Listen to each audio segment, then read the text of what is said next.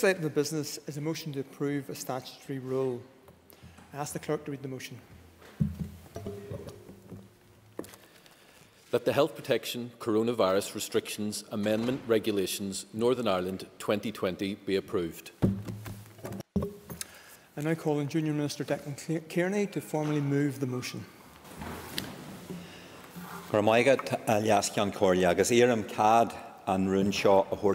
Thank Order, you, order. Mr Speaker. That, Stephen Clark, you're going to move the motion. Have some more uh, advice to give to members, and then you'll be allowed to uh, take the floor.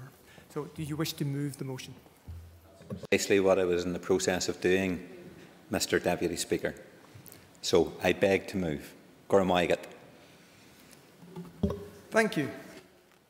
The Business Committee has agreed that there should be no time limit to this debate. I'd also like to remind members that the Business Committee has agreed that under the current circumstances, members may rise in their place if they wish to be called to speak during debate uh, or any other occasion. this is the usual way of getting your name onto the speakers list, uh, is also to inform the Business Committee or by approaching the top table. These remain uh, valid alternative options. I now call the Minister to open the debate on the motion. Minister. Ceann Comhairle agus a chomhaltaí, it is now some eight weeks since it became necessary for the Executive and for this Assembly to introduce the extraordinary measures which have so drastically affected the way we live our lives and go about our business. There has been no other legislation in living memory which has caused so much disruption. Life as we know it has been turned on its head. It has separated people from family and loved ones who happen to live in different households. Businesses have been closed and economic activity paused. The regulations have stopped us from going beyond our homes except for limited purposes. So, a short piece of legislation, which, like the tiny microbe whose name is in the title of our regulations, has had serious and far-reaching consequences beyond which any of us could ever have imagined. However, Achan Comhairle, that is where any comparison ends, because of course, unlike the coronavirus itself, the health protection coronavirus restrictions, regulations, have in fact saved lives. Be cefne cach goromod ag dúil le scéal nibavasa runch seachtaní óhan. Only weeks ago, we were preparing for the prospect of 15,000 deaths in the north, and then a reasonable worst-case scenario of 1,500 fatalities. These regulations have protected our health and care services and they have helped preserve societal well-being. They are a key to help us lift the lockdown. COVID-19 has wreaked a terrible havoc upon us and, very sadly, for many people, that has meant the loss of a loved one. Alias Comhairle, my heart goes out to all of those who have lost family and friends. Currently, up to 482 have died here in the north, as well as in excess of 2,029 souls on our island and tens of thousands of lost lives in both Britain and Ireland. And I'm sure that I speak for everyone in this chamber in saying that our thoughts and sincere sympathies go out to all of those who have been bereaved and are suffering the pain of loss at this time. I send good wishes to those lucky enough to be out of danger and have begun their recovery, including personal and family friends of my own. And I do extend solidarity to all of our health and social care heroes and many other key workers who have been on the front line in the fight back against COVID-19. Is kuish jema dusa nach bhfuil aon réiteach cumsíthach éfachtach ar an galar seo ar fáil doing leithra.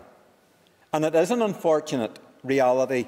We face that we are in the midst of a major pandemic health emergency for which there are, in fact, at this point in time, no quick fixes or ready-made solutions. But we can be sure of this. We are going to be managing this emergency for some considerable time to come. We are unlikely to see a return to a new normal way of living in the short to mid term.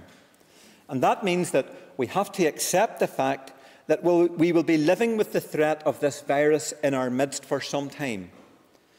We will need to keep managing our behaviours to minimise the risks of spreading the infection. These are, Concordia, extraordinary times, and to get through them will necessitate the continuation of extraordinary measures, to some extent at least.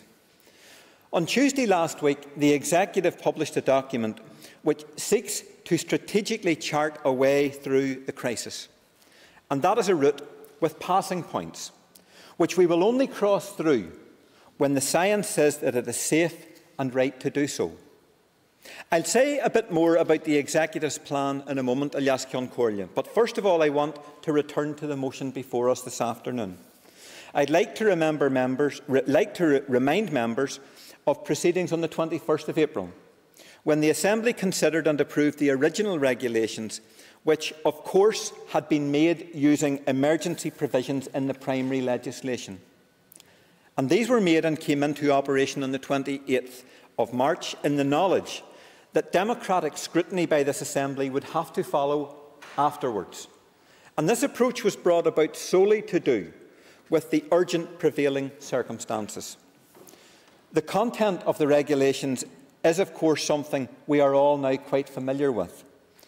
There are three main aspects. Firstly, they impose restrictions on businesses, and many have had to close altogether. Secondly, there are restrictions on gatherings of more than two people, other than in certain exceptional circumstances.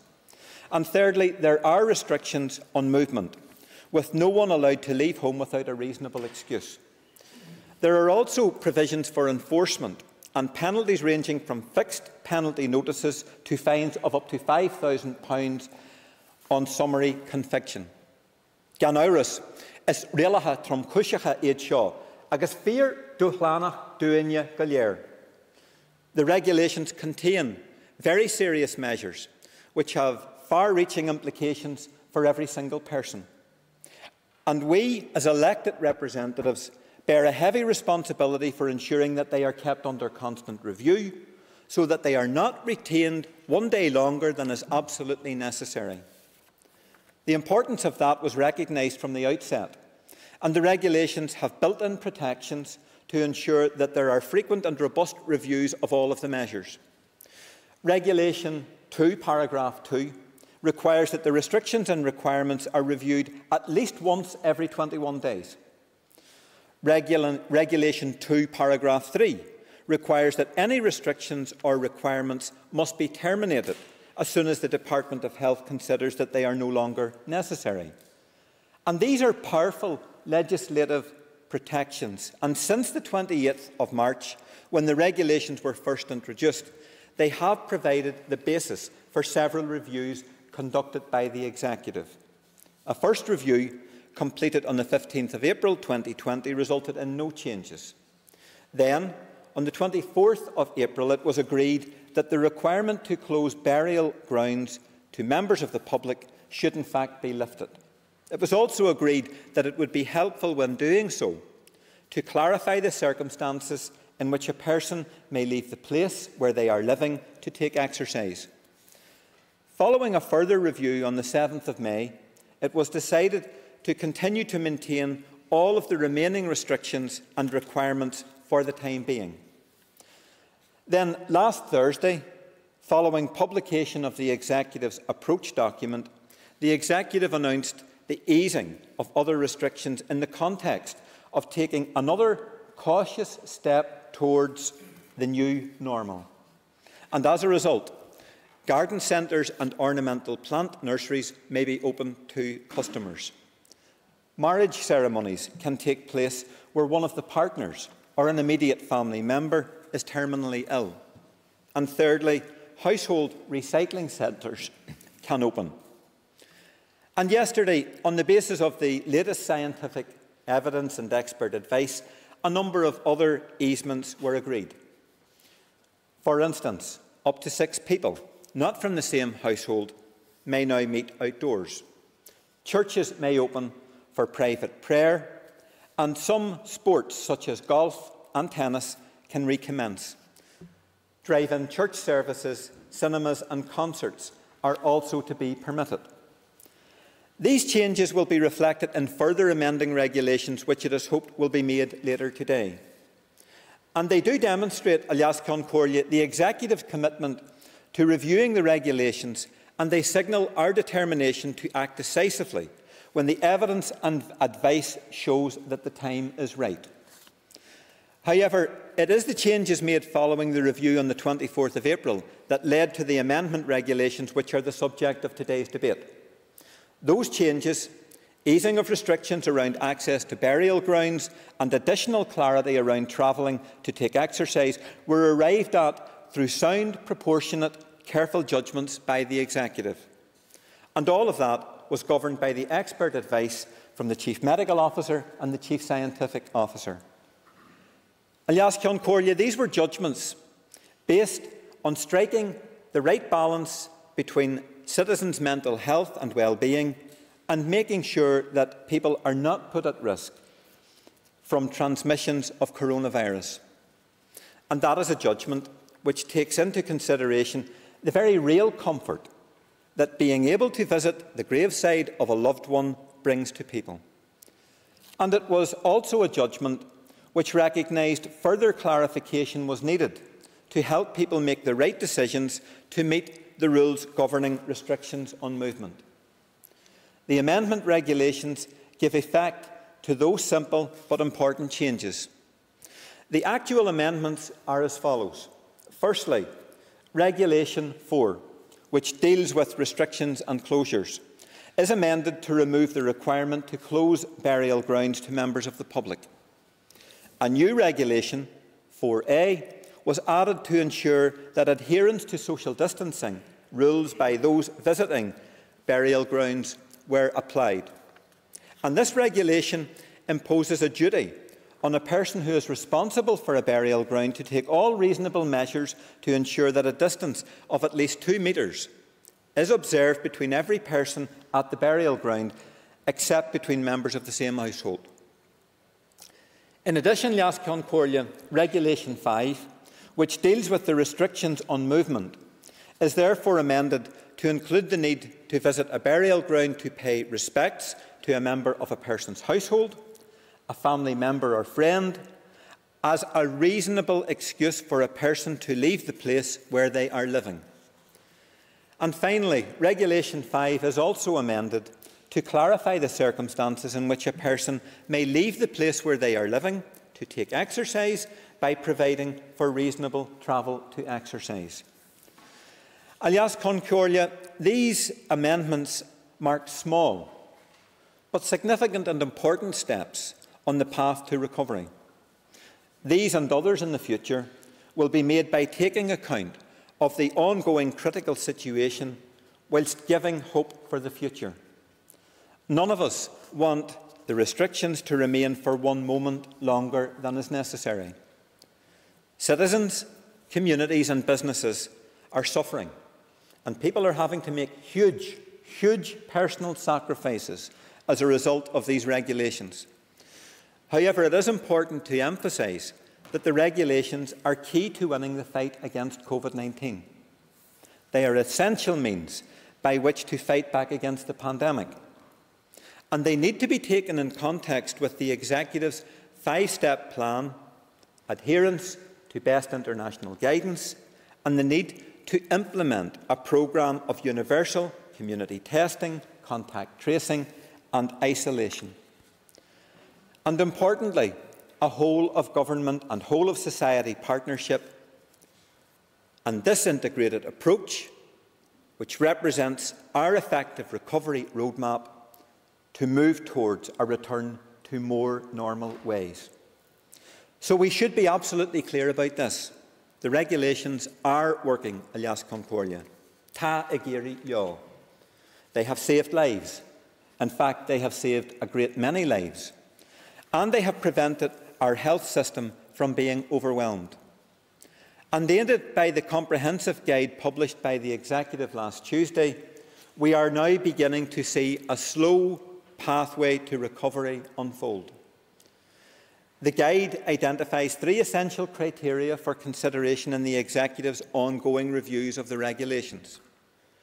Firstly, evidence and analysis relating to the pandemic, and that will include the latest medical and scientific advice, and adherence to World Health Organization guidelines, the estimated level of transmission within society, and the impact that any regulations may have on the future trajectory of the pandemic. Secondly, the capacity of the health and social care services in our society to deal with coronavirus cases, whilst also returning delivery of normal services. And thirdly, assessment of wider health, societal and economic impacts of the regulations, including the identification of areas where we can secure greatest benefit and lowest risk as a result of any relaxations. a LeasCheann Comhairle, the approach of our five-party power-sharing government is logical and measured. It provides for decisions to be made based upon science and expert advice, with room enough for common sense. But make no mistake, we remain in a critical situation. Our public health message has not changed. Stay at home and save lives. What the Executive will not countenance in reviewing the regulations is being rushed into making premature, reckless or uninformed decisions, whether as a result of artificial deadlines or simply to match actions which are taking place in other jurisdictions. The clear scientific assessment is that the pathway of the pandemic is on the island. It makes sense to develop common approaches. The Executive has a duty to give clear leadership a LeasCheann Comhairle. Ní mór dúin ceanarach leanúnach agus a féimnú a So the Executive will do what is right, in the right sectors, at the right time for our citizens exercising the sort of good judgment that has been apparent in all of the reviews to date.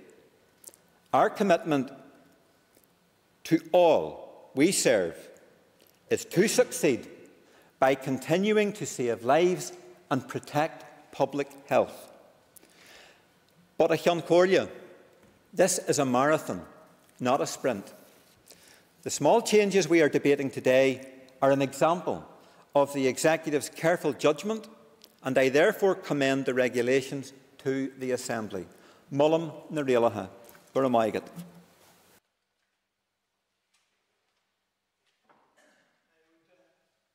First, I'd like to welcome our newest Assembly member to the Chamber, uh, Cara Hunter. And now, can we have Colin McGrath, the Chief Executive Office Committee Chair? Thank you very much, Mr uh, Deputy Speaker, and I rise to speak on behalf of the Executive Committee. Um, the committee very much welcomes these regulations and I look forward to hearing from the chairperson of the Health Committee on the formal deliberations that took place around the legislation. Members of the Executive Office Committee were acutely aware of the relief that was felt across the North when it was announced that cemeteries would reopen. And in that context, uh, I want to briefly reflect on what it does mean to some people to visit a cemetery. For many, it is an important part of the grieving process. It's an acknowledgement that the deceased has not been forgotten and is still very much part of their lives. I'm sure I wasn't alone in my sympathy for bereaved relatives who were so distressed about not being able to visit the gravesites of their loved ones. It was particularly heartbreaking to listen to those who were recently bereaved talk about the devastating effect the closures were having on their mental health and their ability to cope with the loss. For them, the reopening of cemeteries was an incredible comfort and a great joy at a time of such sadness. Of course, you don't have to be recently bereaved to feel the effects of the closures. Many people visit graveyards for reflection and to experience the solitude and sense of calm a cemetery can offer at times of distress or anxiety.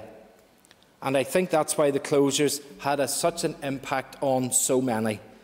Nearly everyone is living through some level of distress or anxiety because of the current pandemic. But in welcoming the reopening of the cemeteries, I also want to stress the importance of maintaining social distance, regardless of where you are. Social distancing will play a major role in creating the right environment where further restrictions can be lifted and we can begin to inch closer to what we see as a normal way of life. We are seeing evidence of that already with the reopening of garden and household recycling centres. Those centres could only reopen because of the impact social distancing is having on the reproduction rate of the virus. So I urge everyone to show discipline and compliance, and I look forward to the lifting of further restrictions, but only when it is safe to do so. I'd now like to make a number of points in my capacity as an MLA for South Down. We are seeing frequent changes to these regulations, and that is to be expected.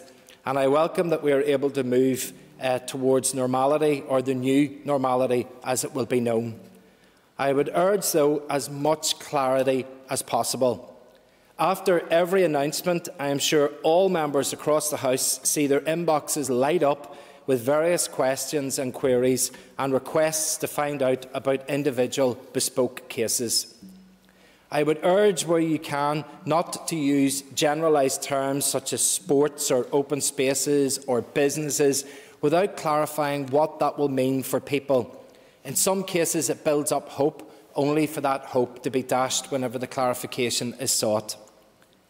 Also, I would urge, as is a recurring theme and one that needs to be developed, is what we can do for our over 70s and those that are shielding, leaving them no hope in every announcement and just saying that you'll have to stay at home isn't going to cut it with them.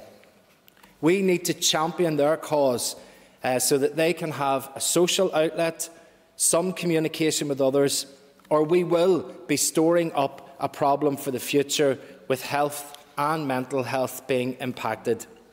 They are feeling the pain of isolation, and it is only fair that we respond to that pain and do what we can to help and give them hope. I have had calls too from people asking that the medical advice and guidance is published as well. People want to believe everything that they are hearing, but some are struggling.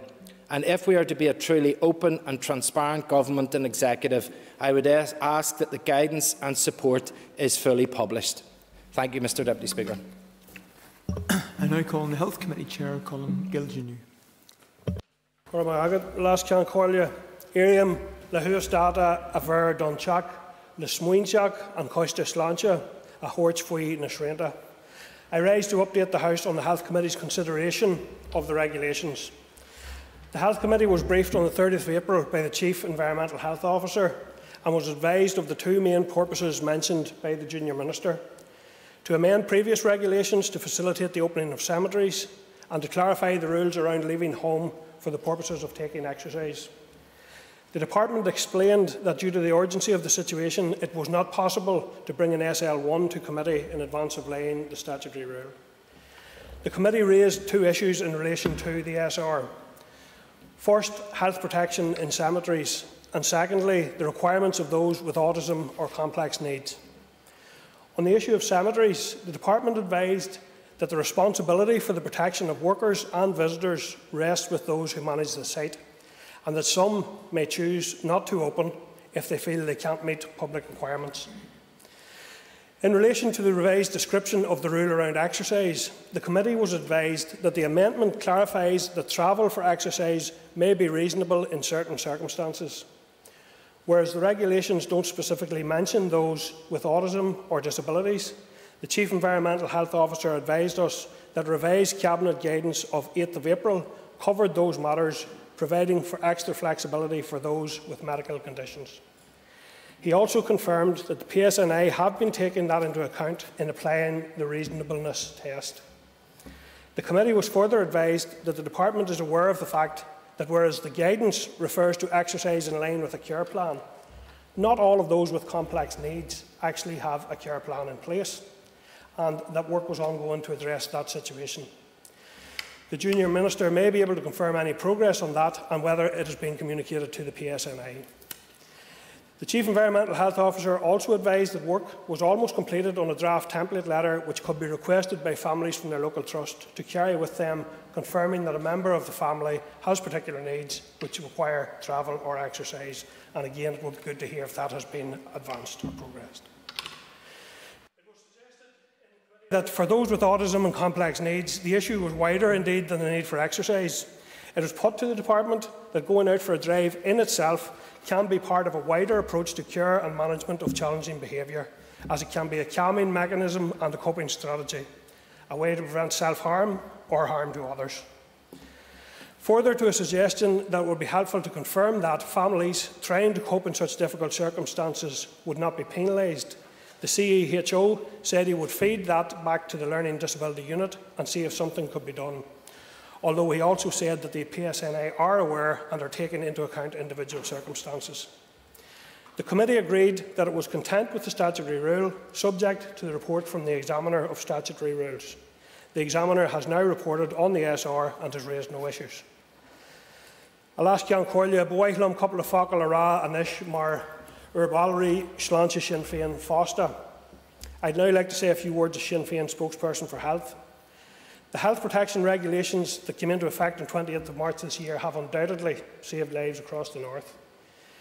In the face of the unprecedented challenge that the COVID-19 virus presents to our very way of life, from the way we work to the way we interact with loved ones, and even, sadly, the way we say goodbye, the Executive has introduced measures that have altered our whole society while protecting health and social care services. The COVID-19 virus has brought unthinkable worry pain and grief to all our communities. To all that have lost a loved one, a neighbour, a friend, I offer my sincere condolences. Through strict observance of the regulations, through much personal sacrifice and hard work on the part of our communities, we have reached a stage where a careful easement of the restrictions is possible. It is hoped that as we move through the next weeks and months, we can safely lift and ease more lockdown measures, noting as we go that this virus is no more a respecter of timelines than it is of borders. However, every easement of the lockdown must be guided first and foremost by scientific and medical evidence. Any relaxation of the guidance of the restrictions must be in accordance with the World Health Organization's guidance that 1. Transmission of the disease is under control, Two, health and social care services have the capacity to test, trace and treat every case and to trace every contact of the COVID patient. Three, our health service has the capacity to cope with a second wave of the virus with adequate PPE, ventilators and so forth in place. Crucially, nursing homes and other hotspot risks are identified and the risks within those settings minimised. The risk of important new cases can be managed. Agus ever number six, Fuyeru, Akarian Niela, Goginian Midge or Bubble or Anolis, Agus Godaki and Midge Lya Mar is That all of our community, including harder to reach communities, are engaged, informed and supported appropriately at this time and as we move through these measures. Our relaxation of the restrictions must be carefully crafted so as to allow flexibility to change course when needed. Ní mór dar ginsi a bheith tomáistí agus ólach agus a bheith deanta de réir na cuineola éagsúla in our bubble, agus de réir na tíra óleicta. Our decisions at this important time must be measured and informed and done in a way that suits the particular circumstances of our own communities and our own geography.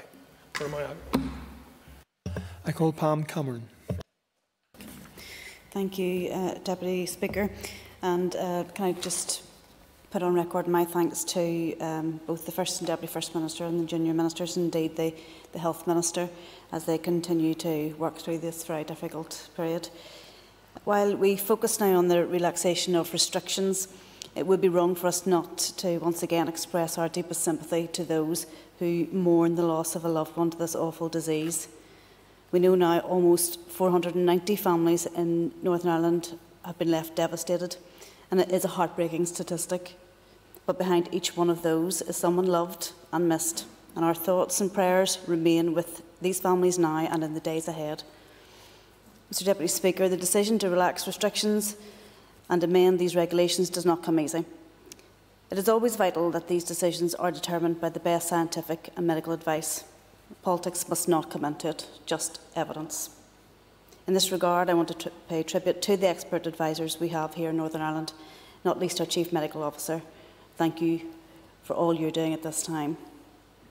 As MLAs, we are today and daily being contacted with the question, Am I allowed to? It is the question on everyone's lips when will we be able to? And for family life, for community life, for the return to what we once called normal. In recent weeks, we have all taken small steps. Access to cemeteries was a much needed and most welcome first step. Who among us did not have a constituent who longed to visit the grave of a loved one lost too soon? Maybe a child or a spouse. The stories received, no doubt, have had real impact on us all personally, and I'm glad that today those graves can be visited. We must also thank our funeral directors and undertakers for their work in recent weeks. It has been incredibly difficult, but as always, they have carried out their duty and that has been with compassion and care. We welcome that. In the coming weeks, I'm hopeful that we can see an increase in the number of people allowed out at the graveside during a funeral, and I would encourage the Executive to explore how this could be allowed. Mr Deputy Speaker, I also commend my colleague Edwin Poots for his actions as DAERA Minister in handling the opening of recycling centres in conjunction with the local councils, but also the recent announcement to permit angling. Yesterday's announcement that outside gatherings of up to six people can take place is very welcome, and I emphasise that social distancing remains key along with not sharing hard surfaces. As indeed is the opening of places of worship for private prayer and for drive-in worship necessarily small steps, Mr Deputy Speaker, but steps in the right direction. It is important in the coming days that we continue on the roadmap to recovery set out by the Executive. At all times, this must be balanced by the safety to take each step. We must keep the R number down. So the message remains the same. Stay at home as much as you possibly can, wash your hands, keep two metres apart and if we do not heed these rules, we risk going backwards in terms of these steps. These steps will save lives and enable society to take steps forward. The people of Northern Ireland can be rightly proud of how they have responded to the public health messages issued over recent weeks. And if we all continue to do this, we will save lives and continue to progress back to normal or a new normal. Thank you, Mr Deputy Speaker. I call Mike Nesbitt. Thank you, Deputy Speaker. Um, Minister Kearney uh, has not been shy on occasion uh, to make the odd political comment uh, during the course of the pandemic. Uh, so I would like to make a political point uh, today. After all, his party colleague, uh, John O'Dowd, reminded us recently this is a political chamber. and the point very simply is this. Given we are part of the National Health Service, uh, and given the eye-watering amounts of additional money coming our way from Treasury uh, beyond the block grant, then I hope every member uh, could agree with me that, irrespective of their legitimate constitutional aspiration, there has never been a better time for Northern Ireland to be part of the United Kingdom. And that will need to be factored into any debate on new norms. I call John Blair. Mr Deputy Speaker, thank you. Uh, I would like, on behalf of Alliance, to uh, thank the Ministers for their statement today uh, on previous amendments to the regulations and thank them and the rest of their executive colleagues also for the further information released yesterday which will have brought some hope and reassurance to many people. We are reminded, especially at a time when some people are benefiting from reassurance, that there is still much suffering and anxiety in our communities. Deputy Speaker, stress about the road ahead and, of course, grief for those who have lost loved ones, and we're thinking of all of those people today. It is right that we should also reflect today on the huge effort made by people right across Northern Ireland to follow advice, adhere to regulations, and join together to save lives and protect our health and frontline services. It is that effort which has allowed some relaxation of the regulations that have been put in place. Uh, of course, Deputy Speaker, limited alleviation of regulations, just like every other public announcement, will bring further questions. There will be questions about whether it is safe to gather in a particular open space. There might be questions asking that if a fishery is open, as announced on late night television, then is the forest park around that fishery open also? We know that acceding to every request could fragment a coordinated approach to, to battling this virus. That could then lead to an ad hoc development of policy, create an uncertainty, and could have the most serious of consequences, especially if any lack of cohesion was to lead to a second wave of coronavirus. Perhaps then, in the response today, the junior ministers will give us their thoughts on two things. Firstly, the need for clear and consistent messaging from every minister and every department so that information is presented from where and when it is expected and comes as far as is possible with as clear a guidance that, that can accompany it. Secondly, that we assist the public in developing a common sense approach to implementing the regulations by reviewing and, if necessary, refreshing the messaging that is out there to ensure that we're maximising the audience and holding public attention at all times as things change. We know that challenges to police work, for example, in implementing the regulations are ongoing, as witnessed in Belfast in recent days at the Opal Tower and on other occasions. Every effort must therefore be made to assist police in their duty. I am pleased to hear that processes are being put in place to, so that local councils can assist with enforcement matters, and I look forward to receiving more information about that when the latest uh, updates and amendments are before us, if not before then. Um, I, Deputy Speaker, my colleagues are, like all others, looking forward to better times, and we're willing to continue efforts guided by scientific and medical advice to get us there. So, in that light, we're content to support the regulations as amended.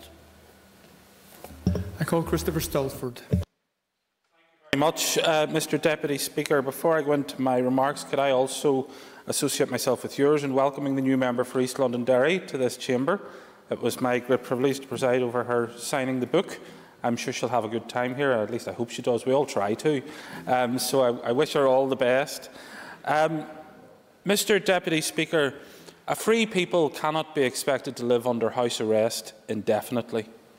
And we voted for the government to have huge and wide-ranging powers eight weeks ago. In a free society, these provisions do not sit comfortably with those who believe in individual, property or collective general rights. Our people have endured serious curtailments of their rights in the name of controlling the threat of this virus.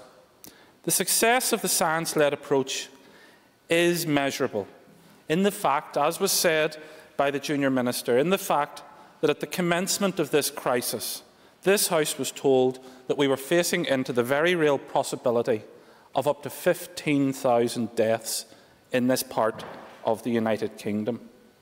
Now, every death is a tragedy, and I want to extend my deepest sympathies to the families of the 482 people who have lost their life as a result of this virus.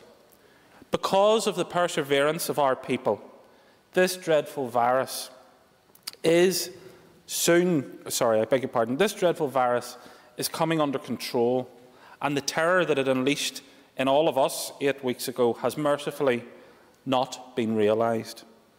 However, we need to be clear and we need to be honest. Patience is starting to run thin within the wider public. And we need to face into that. Others have talked about the need for clear messaging, and I absolutely associate myself with that. It is important that there's a clear and consistent message coming from the executive at this time. But as I said in the introductory element of my comments, a free people will not consent to live under house arrest forever, least of all in a country like ours, which is the foundation stone, the, the, the founding country of liberal democracy, and where freedom means so much. There are some questions that I want answered, particularly in the context of the mixed messaging that people have been talking about. I would like to know from the government what the R rate presently is. I would also like to know from the government, has a figure been established as what an R rate should look like to enable a more full-blown relaxation of these draconian laws? I would like to know who has provided that figure, if one exists. I would like to know if that figure is 0.5, as has been quoted by the Deputy First Minister widely in the press. If that figure that has been provided to the government is not 0.5, then where did the Deputy First Minister get her figure from? These are important questions. And if we're going to reassure our frightened people, then these need to be answered here today. I want to raise the issue of churches. I welcome the announcement that has been made in terms of churches being able to use car parks for drive-in facilities. The member will know, uh, the minister will know, that I'm a member of Ravenhill Presbyterian Church, a church in inner city Belfast. We don't have a car park, but we have an enormous building. And I'm looking around, and I would suspect the interior of our building is bigger than this chamber. But my congregation's being told, you can't meet, but here we sit.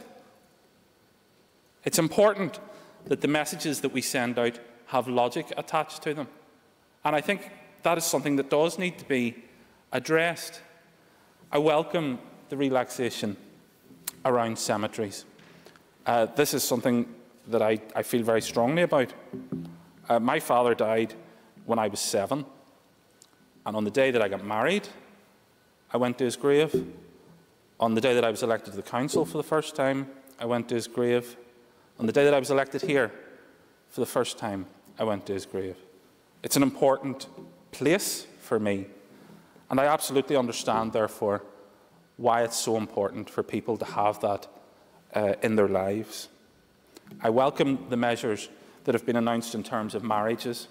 I think that is the compassionate and the right thing to do. I think that overall we can say that the government has acted wisely and judiciously, but I think that our people are looking for answers. At the start of this, eight weeks ago, there was a need to impress upon the people the scale of the threat posed. Now, our frightened and cowed people need to be given hope. Thank you. I call Pat Sheehan. And the last time I spoke on these regulations, I was clear that uh, as a political representative, under normal circumstances, I would never want to introduce restrictions on people's uh, freedom of movement in the way these regulations do. But uh, as we all know, we're living in extraordinary times. And even in the past four weeks, the context has shifted uh, slightly. But I've no doubt that lives have been saved as a result of the measures that were implemented. And I welcome the fact that there has been some relaxation of restrictions in terms of some outdoor activities. And it is clear from the executive approach to decision making what needs to happen before there is further easing of restrictions. For now, the focus must be on a strategy to minimise harm from ill-advised relaxation of physical distance and distancing in ways that will trigger further epidemic spikes. So I commend the Executive for closely following the advice of the World Health Organization when setting out their own guiding principles for considering whether a specific restriction or requirement should be retained, withdrawn or modified. Those principles are clear and easily understood.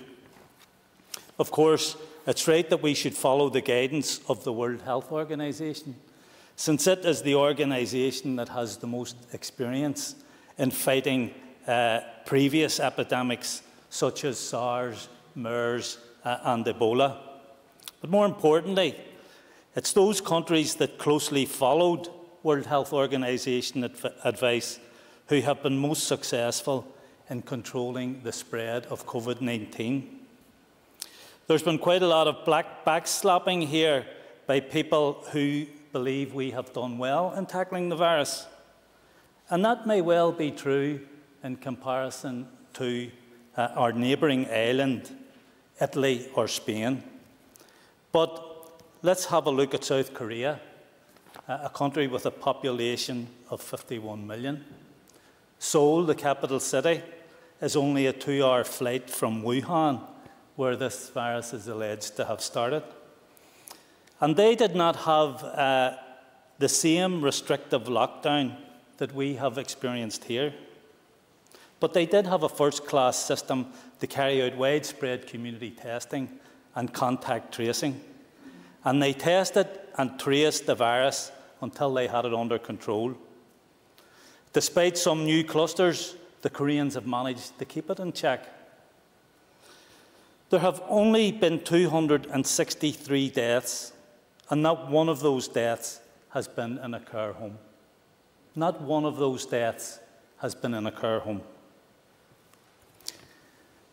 The Health and Social Care Committee in Westminster heard recently from a research fellow at London School of Economics that anyone in care homes in South Korea with suspected COVID was immediately isolated and if they tested positive were removed to quarantine centres or hospitals.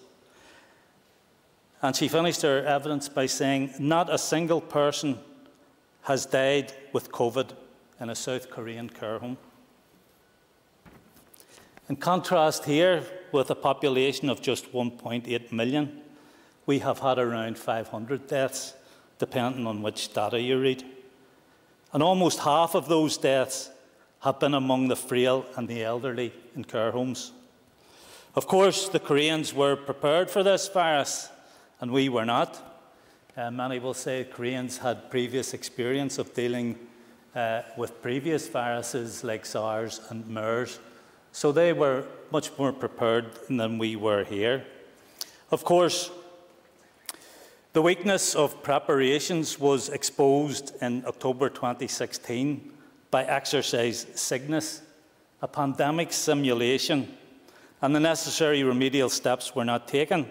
If anything, the state of preparedness has worsened since 2016 as a direct result of underfunding to the NHS and public health infrastructure. So, what needs to happen next? The World Health Organization as quoted in the executive document, are quite clear. Transmission must be controlled. There must be capacity to detect, trace, isolate and treat every case and trace every contact. Outbreak risks must be minimised in special settings like health, facil health facilities and nursing homes. And I have to express some serious concerns about the Health Department being able to meet these criteria. Can I bring the member back to the legislation we're discussing here? I am allowing considerable latitude to all members, but please do mention the specific relaxation legislation which is under debate. Uh, and of course the legislation is related to the situation on the ground. Uh, and in terms of relaxation of measures, it's important we know what has to happen and what criteria have to be met. There are still serious problems uh, with the rate of transmission in care homes, as well as concern about the infrastructure being put in place to carry out contact tracing. So let me deal with contact tracing first. On March the 12th, a decision was taken in London to end contact tracing. For some reason, the same decision was taken here, despite the fact that the two situations and the two contexts were entirely different. We're told the decision here was made on the basis of scientific advice from experts in the field and sound public health considerations. However, we couldn't interrogate that advice. It's secret, it's not transparent. We don't know who the scientists were who offered the advice, and that is not acceptable. Last Thursday, we had three eminent experts giving evidence to the Health Committee. Professor Anthony Costello totally dismissed and disagreed with the assertion that the decision to end community testing and contact tracing could have been based on sound public health considerations. Professor Costello's view chimes with the World Health Organization advice and best international practice. And some will say, don't look back, let's move forward. That's fair enough. I'm not here Can to I ask the member, blame. is he going to comment on the legislation in Yes. front of us today? If he is so, please reference it yes, shortly. At John Corla. Uh, and that's fair enough, but we need to learn from previous mistakes and make sure that we don't repeat them. So have we now got in place a proper system for contact tracing? Well, the Chief Executive of the PHA told the committee on April the 16th, and Jim Wells made mention this when he was asking the Health Minister a question last week at the ad hoc committee, that 500 people had been recruited and were currently being trained to carry out contact tracing. Three weeks later, on May the 7th, when she again gave evidence to the committee and was questioned by myself, she admitted that there weren't 500 people being trained. There weren't 500 people recruited and there weren't 500 being trained. So why did she feel she could come to the committee and give that evidence in the first place? And we're now told by the Minister that there are actually only 58 people who have currently been trained to carry out contact tracing. We know contact tracing was happening initially uh, at, the at the start of this outbreak. We don't know how many were involved. But for only now, for 58, for only 58 people to be trained in contact, in contact tracing seems totally inadequate to me. We've had months now to get contact tracing right. Order, order, stand, order, order. Member, please take a seat. I've asked the member on a number of occasions to please reference the legislation that is in front of us. This seems to be a speech, and he has yet to reference in detail the legislation. I will give the member another chance. Pat Sheehan. Gorma, I've got a last Corla. Uh, I don't know if we'll have the proper infrastructure in place that will allow us to ease the regulations that are being discussed here today. And moving on to the situation in care homes, despite the fact that we knew care homes were being impacted disproportionately by this virus, little if nothing was done to protect the frail and the elderly in these settings. Shortages of PPE and lack of testing have been well documented. In London, research which used genome tracking found that temporary care workers unwittingly transmitted COVID 19 between care homes as cases surged. This tracking research into the behaviour of the virus in six care homes in London found that in some cases, workers who transmitted coronavirus had been drafted in to cover for care home staff who were self isolating expressly to prevent the vulnerable people they look after from becoming infected. So, why, why is that important here? Because agency workers here are also moving about from care home to care home. I spoke just yester yesterday to a senior manager uh, from a number of care homes who is extremely worried about this.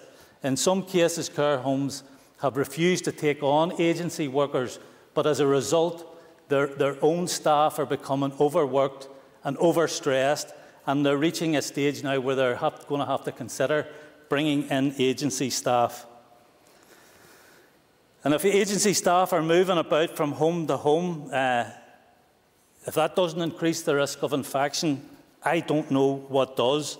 And it's no coincidence, at Corla, a LeasCheann Comhairle, that uh, there has been quite a significant outbreak among staff in Muckamore Abbey of COVID 19. Uh, to me, it's no coincidence that a number of agency staff there uh, moved from a care home in Belfast, which was seriously affected by COVID. In the name of humanity, I'm calling on the Health Department, the Public Health Agency, and the regulator of care homes, the RQIA, to get their act together and put a focus on our care homes that has been absent thus far. I stand with the Human Rights Commissioner, with the Commissioner for Older People, who are both on the public record as saying that not enough has been done to protect our frail, vulnerable and elderly population. Uh, uh, Corla, uh, I welcome the moves that have been made in easing the restrictions, uh, and I look forward to other easing of restrictions, but not until the proper criteria are met to save lives and protect our citizens. Can I encourage members to reference any comments they are, they are making to the legislation that is in front of us today? They may well wish, wish to make statements on a number of issues, but it is not relevant unless it's a reference to the legislation which we are debating. Uh, I now call on Martina Anderson. Boimagad, um, Akarja, every time I, I come here to speak on the coronavirus restrictions, I take a look at the number of people who have died across the world, which today stands at over 320,000 people, with over 2,000 having died across this island. And I want to send my heartfelt sympathy to the families of all those who have died. And we are still dealing with the same deadly virus that we were dealing with eight weeks ago as we stand here today to talk about the easing of restrictions. And the World Health Organization has cautioned against lifting the lockdown measures prematurely, stating clearly that it could lead to a resurgence in the virus. A virus does not become a pandemic by itself. Our behaviour spreads the virus, and unlike the virus, these restrictive regulations that we're discussing today which are without doubt, which has been made reference to, draconian. They have saved lives. This legislation in the five step programme announced by the Executive last week is the correct and the cautious approach, with measures only being relaxed when it is safe to do so. So I welcome the measures that have been announced and how they are being taken forward. And over two months ago, however, and I want to concur with the last speaker, Pat because over two months ago, the North stopped community testing. The relaxation of measures that well before um, we were dealing with the, the number of deaths that unfortunately we're dealing with today. And the World Health Organization advice, and advice at that time was clear test, trace, and isolate. And despite this island being an epidemiological unit, we have not fought this virus on an All Ireland basis. And the restriction of movement, as outlined in the, in the legislation, with no one being allowed to leave home without a reasonable excuse, unfortunately, did not prevent the transmission of this deadly virus, where we knew, we all knew where it would spread, namely in care homes.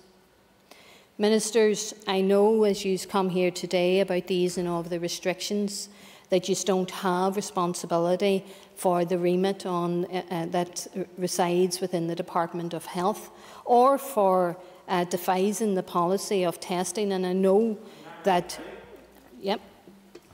Grateful to the member giving way. Before I ask her my question, I must point out this is becoming a bit of a pattern of one party in the executive lashing out all around them and attacking other parties who are working together to try and get us through this crisis. My question is this.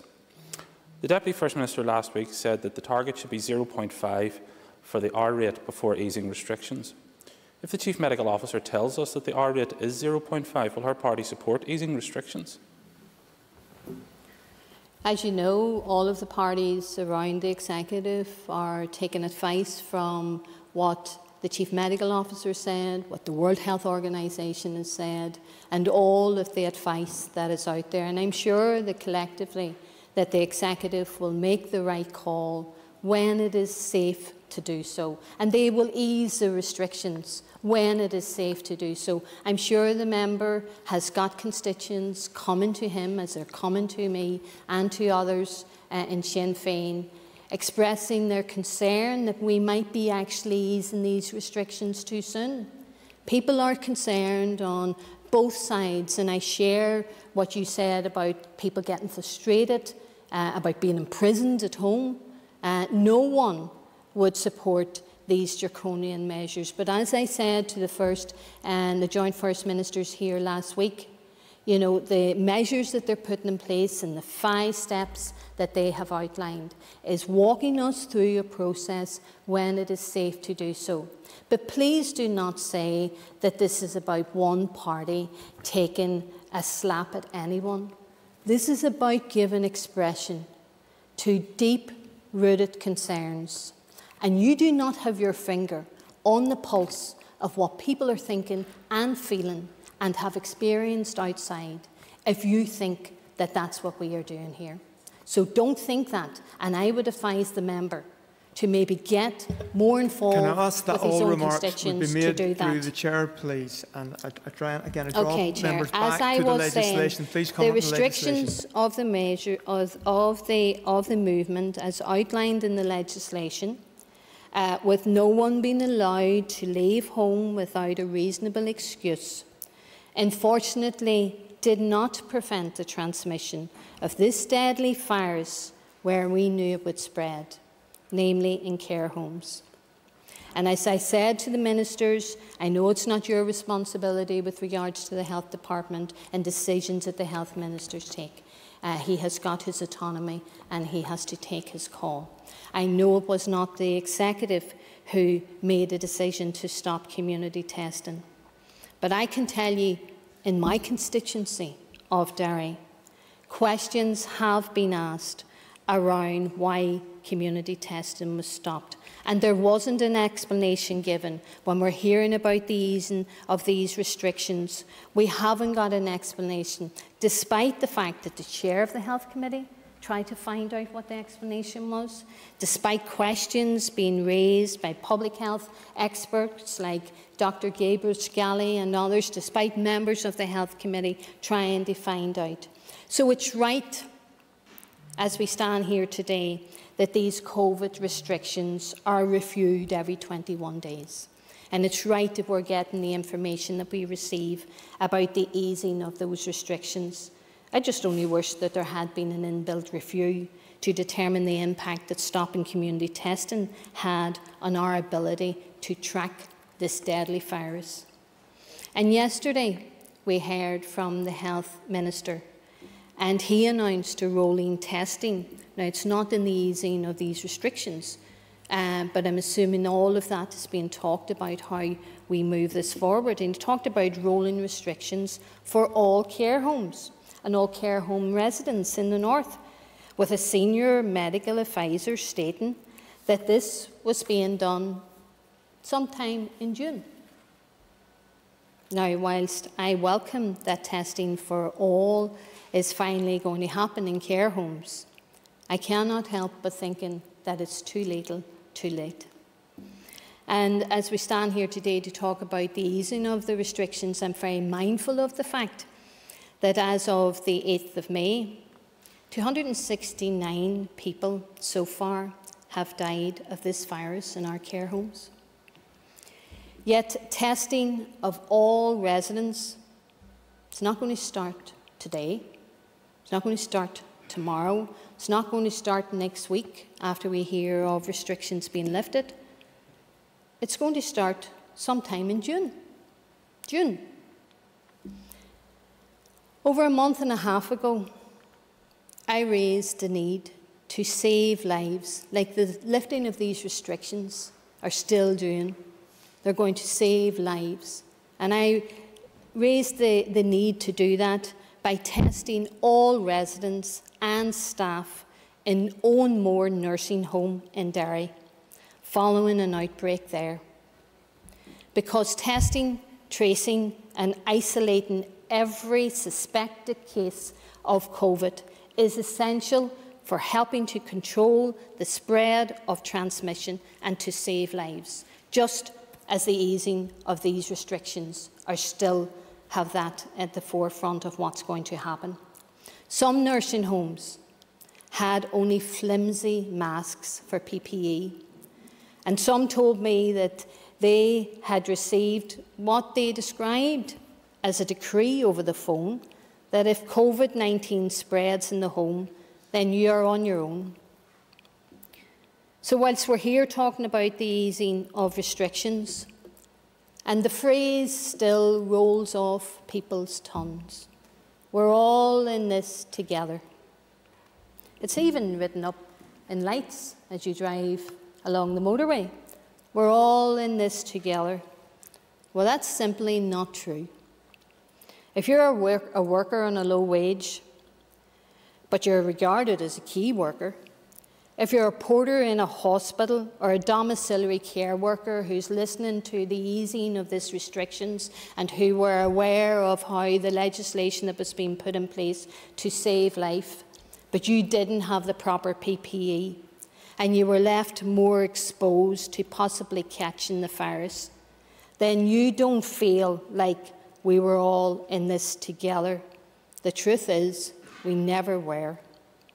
The legislation refers to the capacity of health and social care.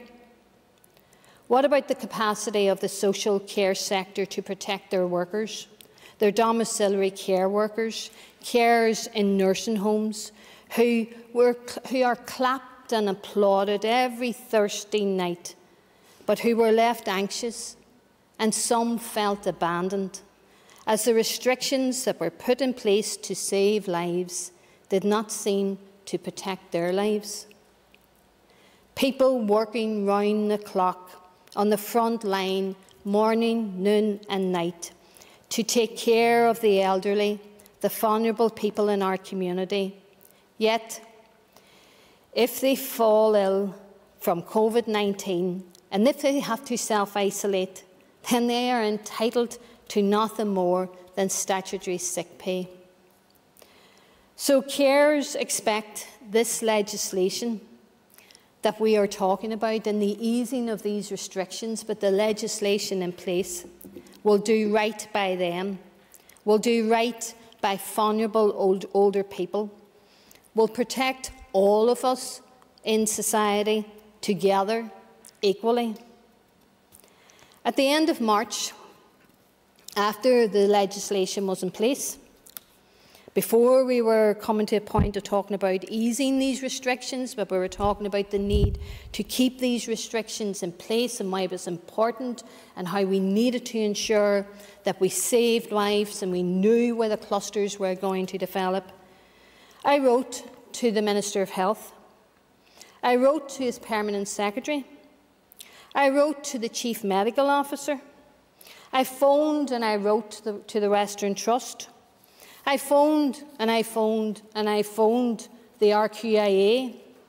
I wrote to them too. I spoke directly with the Older Persons Commissioner.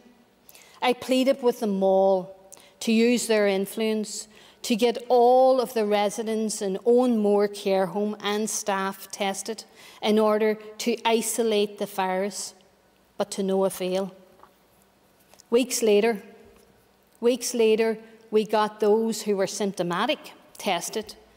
And nearly a month and a half after that, we finally got all the care homes residents in the north will be tested. We're told that yesterday, but it won't be until sometime next month.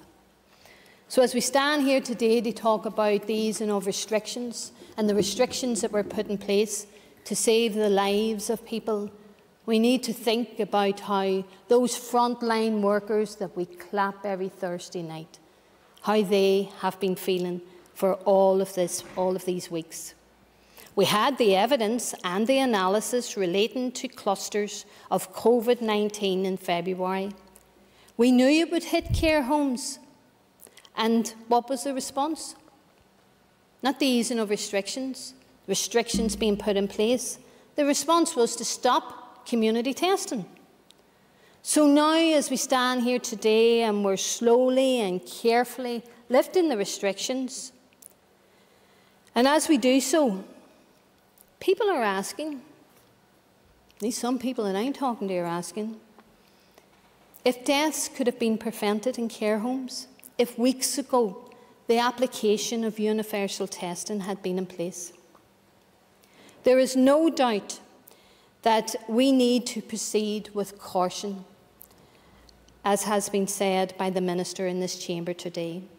And the legislation and the Executive's five step plan does just that.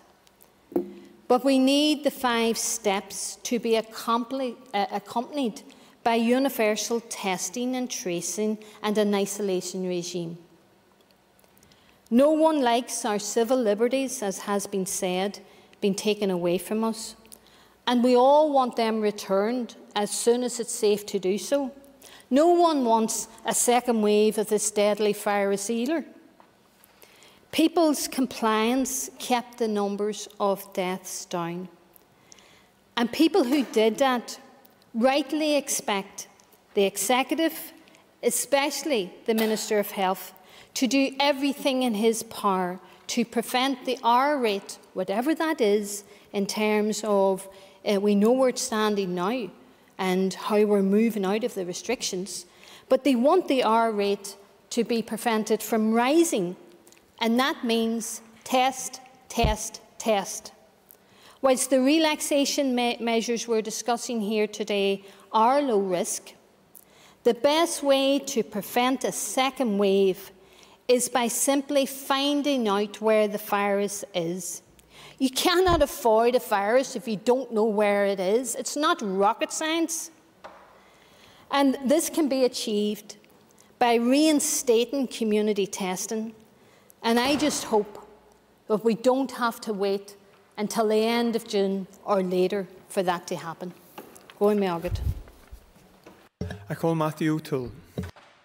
Thank you, Mr Deputy Speaker. Um, I rise, like others, to support um, to the extent that it's relevant, the, the legislation that we're discussing today. Slightly in a state of bewilderment, I have to say, having heard um, uh, a succession of DUP and Sinn Féin ministers rise to appear to take pops at different, different parts of the execu of executive policy, given they, those two parties lead the executive, but I won't dwell on that. Um, indeed, indeed. Um, uh, Mr Deputy Speaker, um, specifically in relation to the legislation and the, and the regulations that we're discussing today, um, I think Christopher Stalford, who's now left the chamber, said earlier on that these uh, um, represent an enormous infringement on our civil liberties. Indeed, Martina Anderson just said that in her previous remarks. That is, of course, true. It's worth acknowledging that um, what the Northern Ireland Executive has had to do, what jurisdictions everywhere have had to do, is something that no one could have anticipated whenever these institutions reformed at the beginning of the year.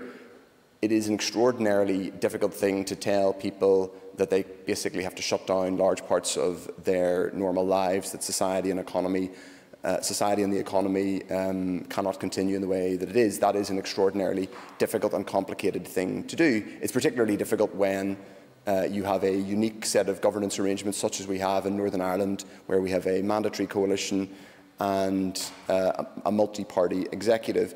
It is true to say, and I mentioned at the beginning of my remarks that there were some comments from different parties that um, were slightly, slightly belied the fact that their two parties ran the executive. Having said that, I would say that um, there has been an improvement in terms of the coherence of executive communications, but my remarks, specifically in relation to today's legislation, are about the communications and less about the politics with a capital P. Uh, on Monday, we were told, uh, uh, yesterday, we were told by First and Deputy First Minister about uh, new easing of the regulations in relation to uh, golf and tennis uh, playing, in relation to family members meeting outdoors, groups of people meeting outdoors, I should say. Today, we are specifically debating the changes that were announced uh, uh, several days ago around opening up cemeteries uh, and other outdoor premises. Um, a slight and unfortunate pattern has emerged, which is confusion among our constituents. Um, I'm sure many other MLAs have had constituents come to them and specifically ask, as I think Pam Cameron said in her remarks, am I allowed to do this? Am I allowed to do that? A certain amount of that will be inevitable, but I'm afraid it's slightly exacerbated by some of the means of communication that the Executive Office or the Executive in general have gone about using. Yesterday's easings, for example, were announced by means of a press release. I uh, as someone who used to work in government communications, have gone through the various channels of the Northern Ireland Executive in order to establish where there is a simple dashboard for someone who wanted to access the information, uh, where it is that they could find it. Could they find it on the executive homepage? Well, they can't. They can find a news release or a news story about what was announced yesterday. There isn't even a, what's called an infographic to explain it to them. If you go on to NI Direct, which is the homepage for the devolved institutions that's supposed to tell people about local services, how they access them, and contains a range of information about COVID-19. There doesn't appear to be, I may have missed it, I did give it a fairly thorough look, there doesn't appear to be any simple, straightforward um, uh, route or portal for ordinary residents, whatever their views on COVID-19, whatever their views of the restrictions, simply to go in and find out when can I play a game of golf, when can I do X, Y and Z. Now, this may seem like a pedantic point, but it's extraordinarily important when we are doing what we're doing, which is, as, party, as um, members from multiple parties have acknowledged, uh, infringing on people's civil liberties for the purposes of managing public health and minimising death and severe harm to our society. People um, want information and they want to be told why certain restrictions are being put in place. Um, there's an old saying in um, uh, in communications, which is show, don't tell. And I think that's it's extremely important that we, when we are going through this um, process, that we explain to our residents and our citizens what, why certain easings are happening, happening at certain moments and what they are specifically allowed to do. At the minute, we're having, I think we're causing a little bit of um, uh, unnecessary confusion um, and some of that confusion is also, called, um, uh, is also caused, I'm afraid, by ministers going on um, on, on television programmes to give their own views about um, other things which could be eased. Angling, for example, we had a minister talk about that on, uh, on the same television programme I was on just uh, a few moments later. I was then asked why uh, I was then asked about executive incoherence over easings. That kind of thing causes confusion and it isn't necessary. So Uh, in conclusion, uh, Mr Deputy Speaker, while I agree with uh, many of the comments that previous speakers have made, uh, specifically around feelings in, in terms of our ceasing contact tracing and testing earlier in Northern Ireland, which I think still hasn't been adequately explained, given that we, had, we were both earlier in the infection curve uh, on this island and we also have a different demographic and uh, geographic profile. That is to say, we have a much more rural and dispersed population. It hasn't quite been explained to us why it was in our specific and discrete interests here to cease that in, at the same time as England, or, um, which is a much uh, bigger and denser population. And uh, so, while I agree with some of those comments, I, I, in general today I want to limit myself to uh, remarking upon um, the communication of easings uh, and can I encourage the member to reference the legislation which is in front of us? Uh, as I have done literally throughout my remarks, Mr Deputy Speaker, I don't think I can be accused of straying too far.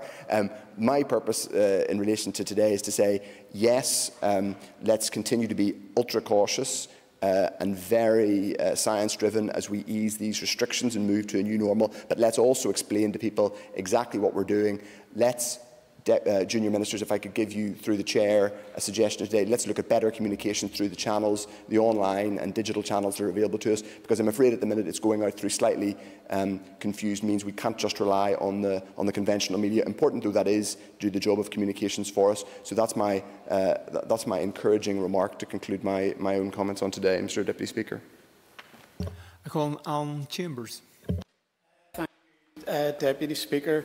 Um, I must confess I thought I'd wandered into the wrong debate today, uh, Deputy Speaker. Um, certainly, uh, I would support the controlled relaxation uh, of the regulations, uh, provided they're always based on best medical and scientific advice. Uh, however, I would maybe express a word of caution the one thing that we've got to guard against, all of us, is complacency. These baby steps are certainly not an indication that COVID 19 is beaten. It may still have a sting in the tail. And I would appeal for all those calling for more relaxation of the regulations that may affect a particular aspect of their lives to be patient they may be understandable, but I think that they are perhaps unhelpful. as they may influence others that the virus is disappearing and that it is beaten. It is not. We must still exercise caution, respect social distancing, and good personal hygiene routines. We may have all helped to save lives, but I think we also have to realise that there are still many lives that could be lost uh, to this virus if we drop our guard. Now, I didn't uh, particularly want to deviate uh, from uh, the regulations, but certain remarks have been made in the House today that I think have to be addressed and have to be replied to. We heard uh, from the other side of the House the mention of exercise uh, Cygnus, which was an exercise conducted throughout the United Kingdom in 2016. And one of the recommendations that went out to all the corners of the nation was to consider increasing stockpiles of PPE to be able to deal with a pandemic just like this one. And at a recent uh, meeting of the Health Committee uh, where this was discussed, uh, the chairman uh, did uh, make a comment that we didn't in Northern Ireland react to the advice of that exercise, and that in fact, I think his words were that our planning were uh, inadequate. I think that it is useful to perhaps recall who the Minister of Health was back in 2016 when that remark was made that the planning was inadequate.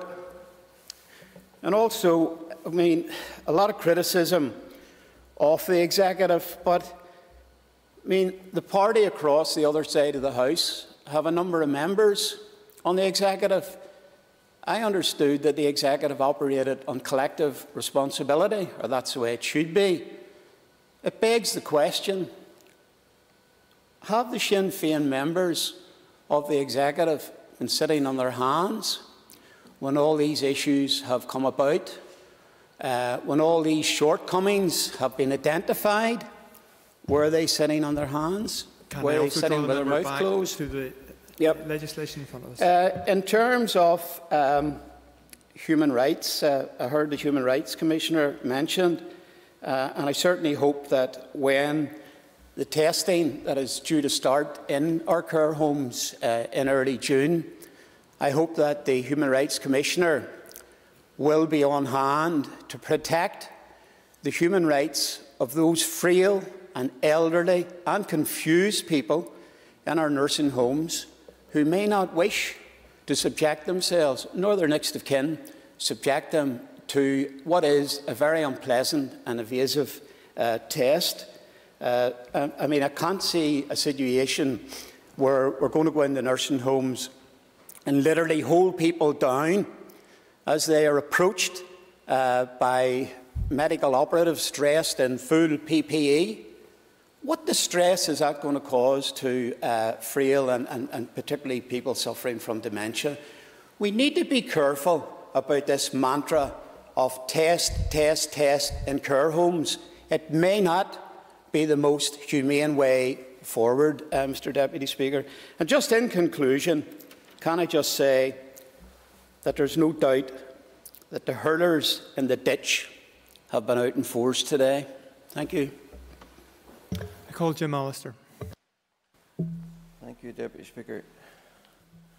Forgive my cynicism, but I must say that when I hear in this House two convicted terrorists, one talk about in the name of humanity, and the other talk about saving lives, then I'm afraid my thoughts go to the actions of those who performed the very opposite. And then when one of those persons, or maybe both of them in fact, devote their speech in large measure to, I was going to say a veil, but it was hardly veiled at all, attack on the health minister and then invoke the phrase all in this together. It's pretty clear that for some on this executive, they're anything but all in this together. And I think those contributions spoke for themselves in that regard. In terms of what's before us today, I, as when it was announced, I very much welcome the alleviation in respect of graveyards. I still, though, have the fundamental question why were graveyards ever included in the first place? Because the thought of one or two, more likely to be elderly than not, people making their way to a graveyard to sit or stand beside the grave of a loved one, ever posing a threat to anyone in terms of the spread of coronavirus is just hard to comprehend. And I'm glad that eventually the executive came to their senses and realised that that was an alleviation which had to be granted. It did in the meantime, though, as many of us as constituency members know, cause a great deal of grief to individuals who were prohibited from uh, performing those functions. Um, so that's the first portion of the regulation, which is welcome uh, in all its parts. Um, then we have the amendment to Regulation 5, which seeks to clarify uh, the business of leaving your home for the purpose of exercise and underscores the necessity to have regard to all the circumstances. It's a matter of regret to me that when the original clause was introduced, that we had from some police officers an overzealous implementation. I think of one case of a gentleman who, from Coleraine, who has health issues. He's not shielding, he doesn't have, but he has health issues of which he's conscious. He has a dog. Where he lives, the footpaths are very, very narrow. So every time he went out, he felt uncomfortable in terms of COVID 19 with how close people were having to pass him. So one day, having experienced that, uh, the next day he got in his car and he drove to the West Strand car park in Portrush, four, five miles away. He went to the extremity of the car park so as to be well away from anyone. And he went there because, as probably everyone in this house knows, the promenade at the West Strand is particularly wide, several metres wide. And he thought that would be a safe place for him to walk his dog.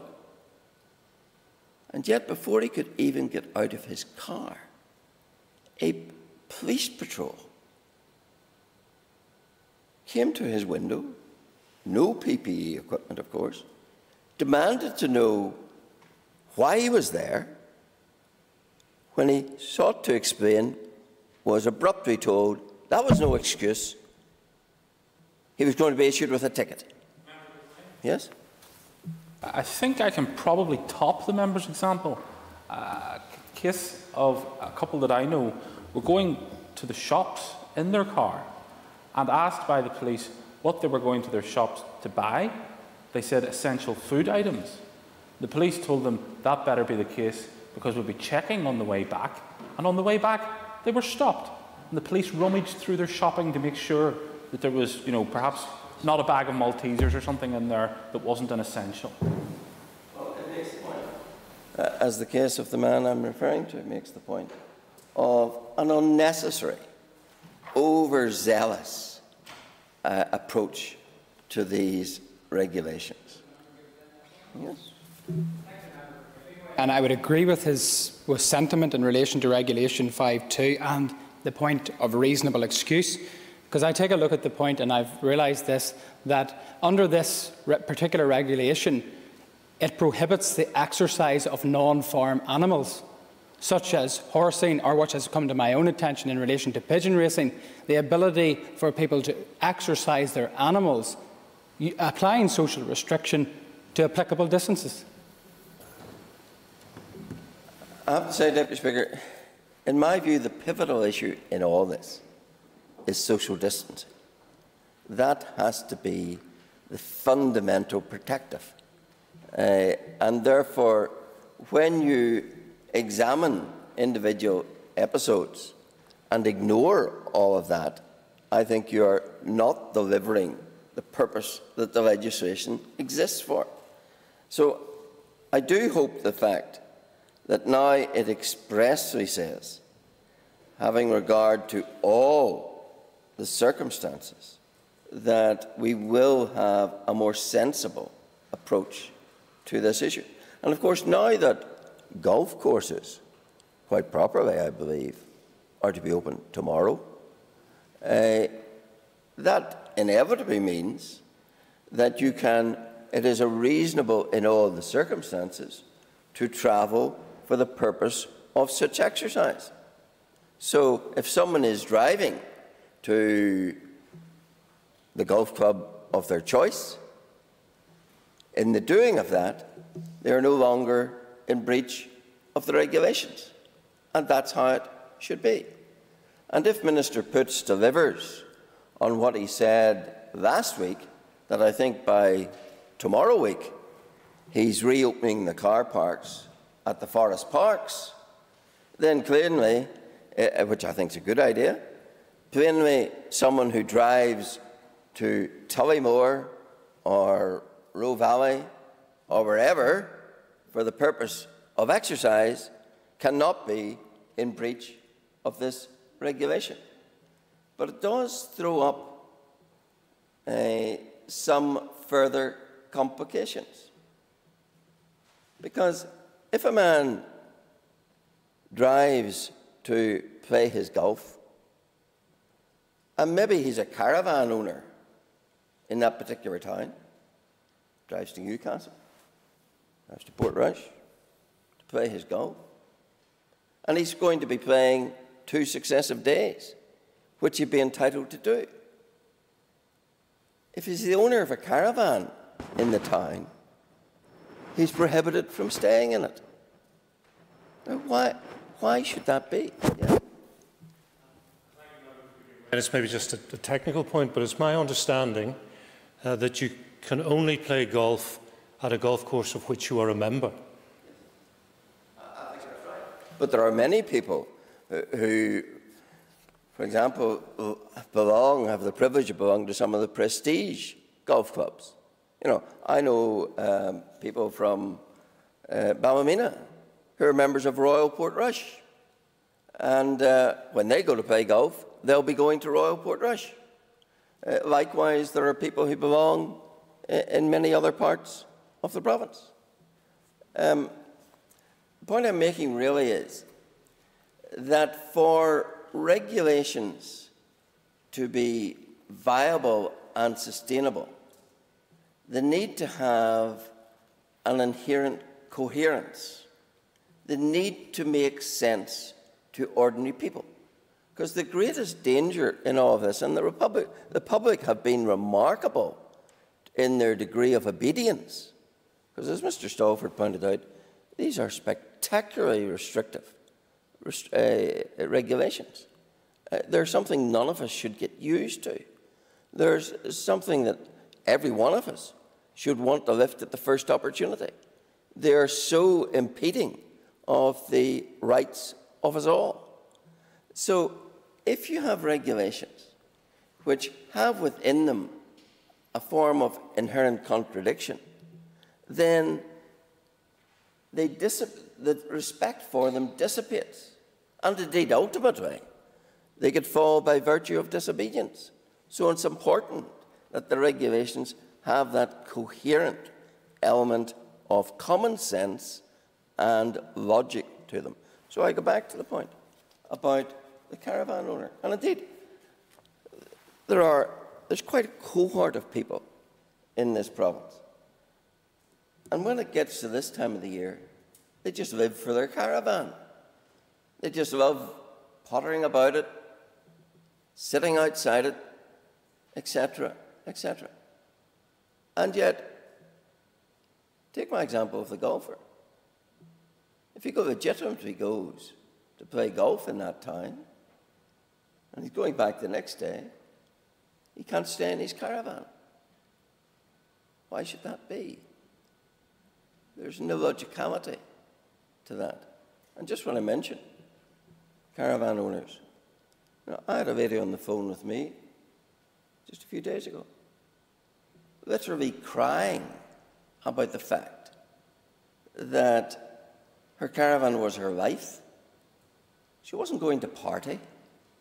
She wasn't going to parade up and down the main street. She was going to socially distance, she hoped, at her pride and joy, which was her caravan. And this executive talks rightly much about mental health, about mental health champions. Well, I can tell you, it's becoming pretty manifest to me that for some people in that position, it is having a very adverse effect on their mental health. So I do say to the executive, it is time to weave into this approach greater humanity, uh, greater common sense on some of these issues. And Mr. Stalford rightly asked a legitimate question, and no doubt Mr. Lyons will give us the answer. What is the R number today? And uh, where does it leave us? Now, last week at the ad hoc committee, we were told it was seven. And um, when I asked the health minister, um, did he know anything, given what Michelle O'Neill had said? Did he know anything about a requirement to be at 0.05? He told us, never heard of it. So that does bring us to the fundamental question Are the leaders of the executive being driven by the science? Not Michelle science, real science. Are they being driven by the science?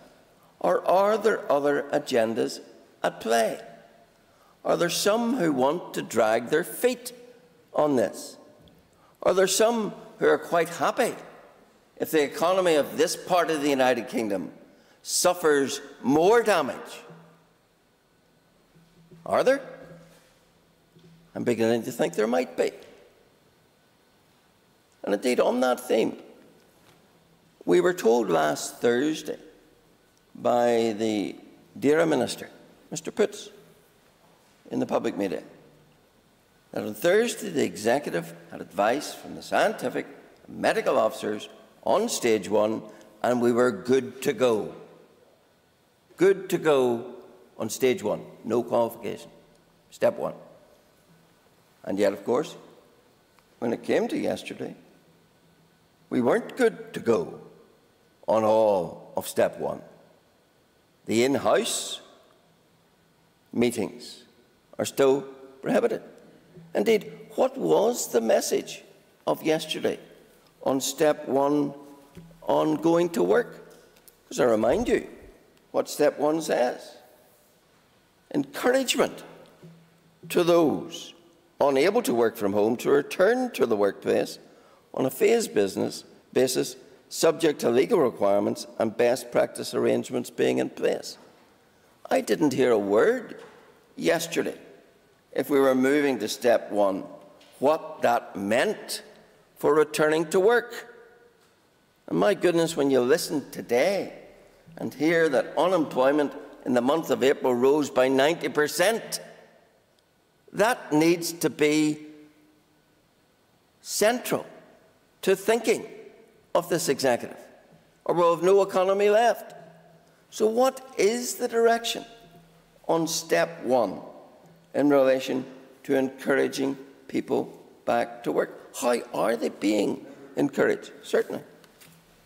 Would the member agree that um, I think basically no credible economist, whether they tend to be from the right or the left in any jurisdiction, thinks that there is any means by which you can simply turn the economy back on, not just because of um, not just because of well, not just because of COVID-19, because people are, are afraid of of what happens. They're not just going to go back out and shop and go to pubs and restaurants. Would the member accept that uh, creating a simple binary between health versus the economy isn't accurate? It doesn't. It's not borne out by economic evidence.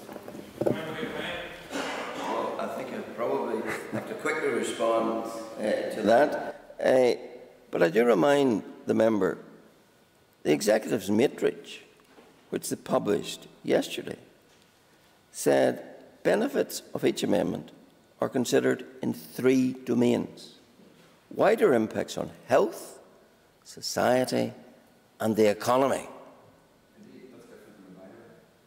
And I'm, my complaint is I see secondary or lesser or even absent for some consideration of the economy. And I'm making a plea that the economy is central to that decision, as this matrix says. Yes, I member agree that while it's not a binary choice between public health and the economy, it never can be. The longer vast swathes of the economy are in stasis and not moving, the much more difficult it becomes to get it moving again, and that's the danger. Absolutely. Uh, and of course, um, the fact it isn't moving, people are only surviving by virtue of the very legitimate, necessary government handouts which are coming from the Treasury, as Mr Nesbitt pointed out. Now, that is not a healthy position to be in. It's not one that can continue indefinitely. Therefore, it's one that any responsible government, putting in place all the protections particularly the social distancing protections that can be put in place, needs to be encouraging of the restoration of economic activity.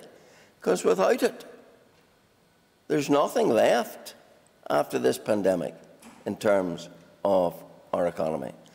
And without an economy, what have we going forward? And it's not a, it's not a binary choice between good health and good economy.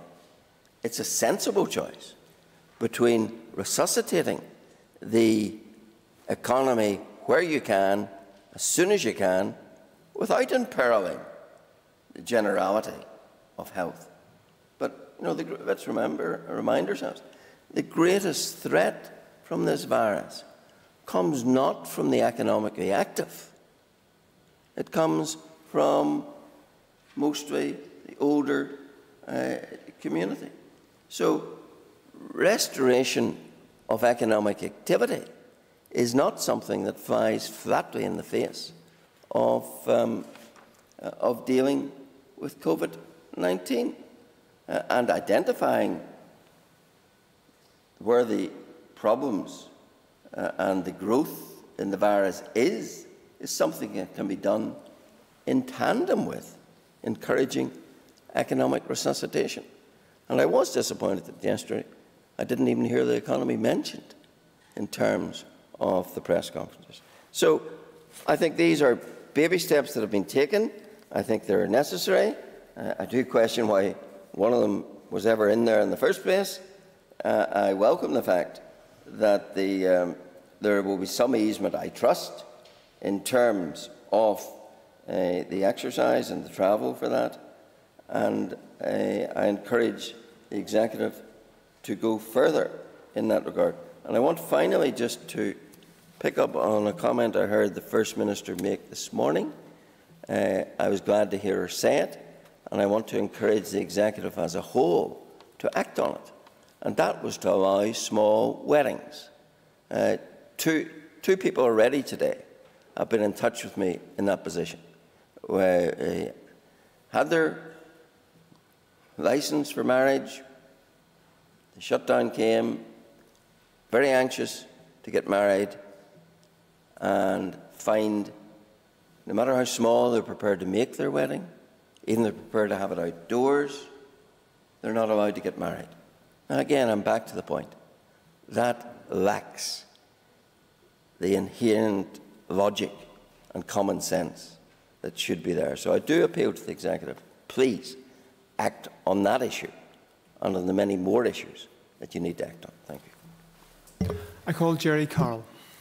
Deputy Speaker, I just want to make a few brief points. And I think we're often presented uh, the executive as being uh, an image of unity, and uh, I don't know if today we got a glimpse of maybe some of the tensions and divisions uh, that it normally exists. Maybe the junior minister can enlighten uh, us when he comes back on whether that was the case uh, today.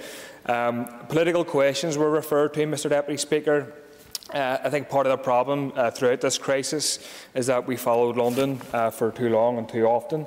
Uh, the problem with that approach was that obviously London um, uh, preached and practiced the dangerous and ludicrous policy of herd immunity, but also suspended contact tracing. There was a lack of testing, slowness to acquire PPE, uh, to name but a few of, of the issues. But to turn to the measures before us today, Whereas I certainly, Mr Deputy Speaker, do not oppose the measures provided. Uh, the, provided there is safety ensured for workers, uh, in particular those who work in cemeteries. Cemeteries obviously are important for people uh, to grieve in. I think I would urge uh, caution though, Mr Deputy Speaker, about lifting too much uh, of the lockdown restrictions uh, so soon. I think the key issue at the heart of all this is what happens when large numbers of workers go back to work. We have witnessed in South Korea, Germany and Italy and other countries when restrictions have been lifted that there have been new clusters, new cases, uh, and that is the risk that is before us.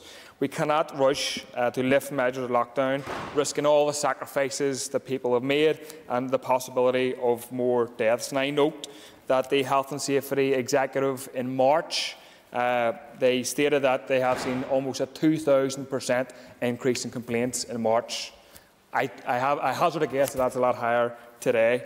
We obviously saw the tragic case of a worker dying uh, in Moy Park, and there's still concerns over health and safety uh, of workers and how they're going to be protected. And I don't think the executive has been clear or robust with a plan to say how that uh, will be the case and how workers will be uh, protected.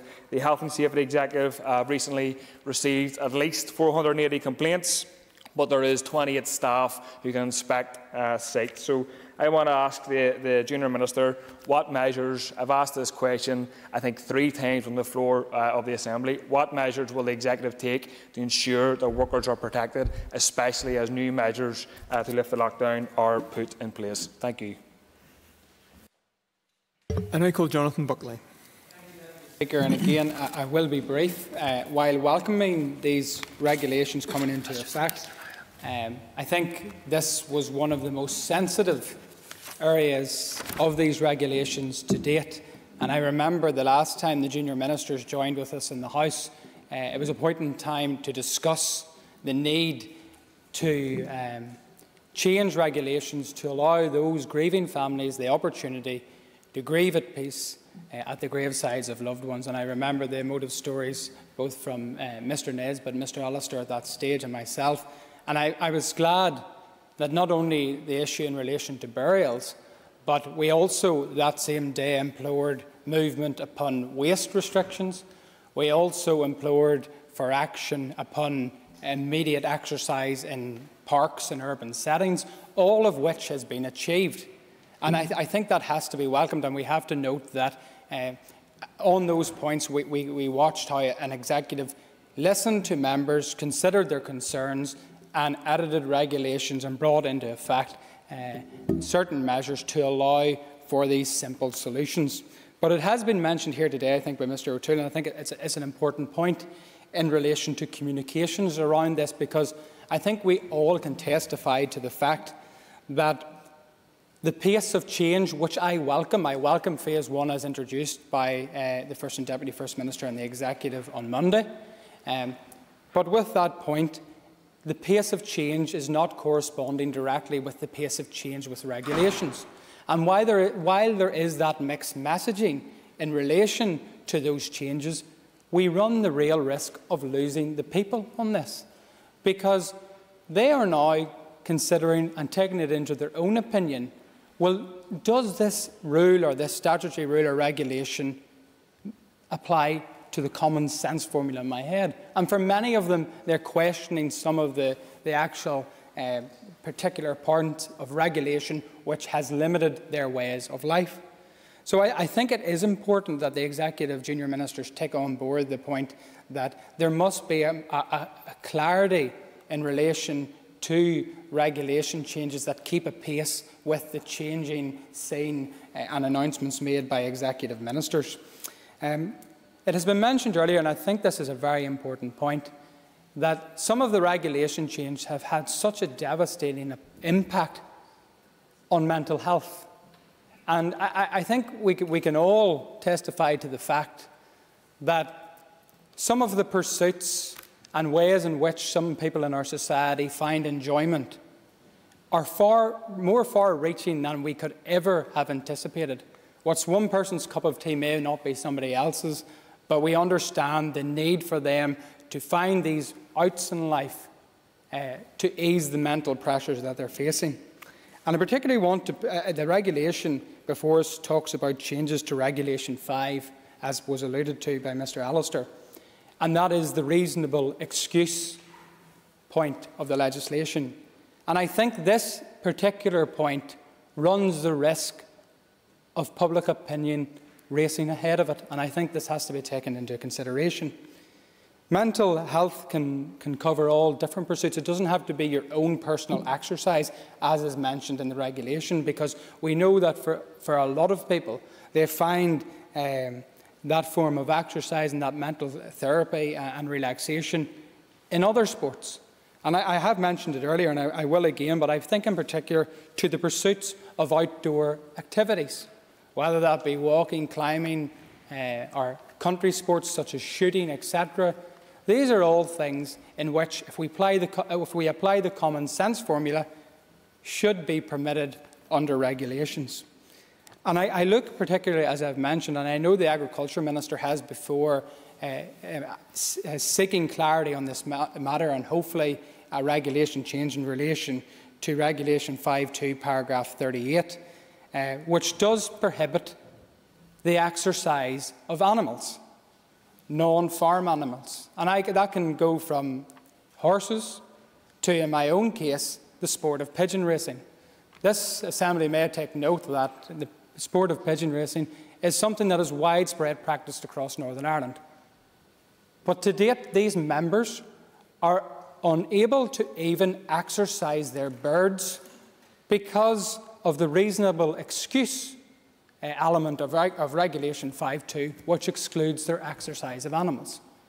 Now, I would implore the junior ministers to take this point up upon the executive to ensure that a common sense approach can be applied and that something like this can be changed uh, with relatively no effect, because I think that's one thing that has come to light, is that some of these regulations um, I suppose when they were introduced at the start, they were draconian, as has been mentioned, and I think members are now fully coming aware to the fact of how draconian they are.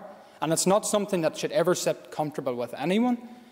But we have actually got to see the real fabric of our society and what the interests, hobbies, uh, therapies, etc., are for many people within our society, whether that's cross community or elsewhere. It really is. We've seen the depth of society.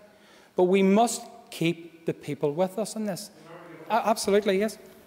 Uh, thank the member for giving way. And will the member agree with me that one of the benefits uh, of the executive's plan to come out of uh, the coronavirus lockdown in, in, a stage way is that we have review points in it. Some argued for very rigid dates, that we would have rigid dates and A, B and C would happen on certain dates. But the member raises the point around, around pigeon racing, and I too have been lobbied in relation to that subject. The executive plan allows for flexibility where we can raise issues with our executive colleagues and they can go away and review them and come back with decisions based on scientific advice. But I think it is welcome the fact that we can and the executive can review on a constant basis and the process allows for uh, implementation of safe activities based on scientific advice. Point, and by and large, I would agree, because if, if we reference the earlier points, such as burials, uh, access to urban parks, and also indeed refuge, these, these are issues which were brought before the Assembly floor. Their points was heard across this chamber, and we did eventually see changes to that regard. Um, but the main point would be, while there is no fixed and rigid dates, we must therefore then see a speed of action from our executive colleagues to implement the changes in regulations to keep a pace with the changing environment via the phased approach introduced by the executive. So I do look forward to continued conversation with executive ministers and indeed the junior ministers to discuss how we can implement and change regulations to keep a pace with society and the changing cultures and viewpoints, therefore, because we have to apply common sense. We have to realise that there is a mature society in Northern Ireland that can look upon simple sporting activities or otherwise, can exercise their right to do such hobbies in a socially restricted manner and at no stage be a threat in relation to coronavirus. We must take that point on board, and I look forward to further engagement with the ministers on that regard. Thank you. I now call on the Junior Minister Gordon Lyons to conclude and wind up the debate on the motion. Thank you very much, uh, Mr Deputy Speaker, and I uh, welcome today's debate and thank members for the contributions uh, that they have made.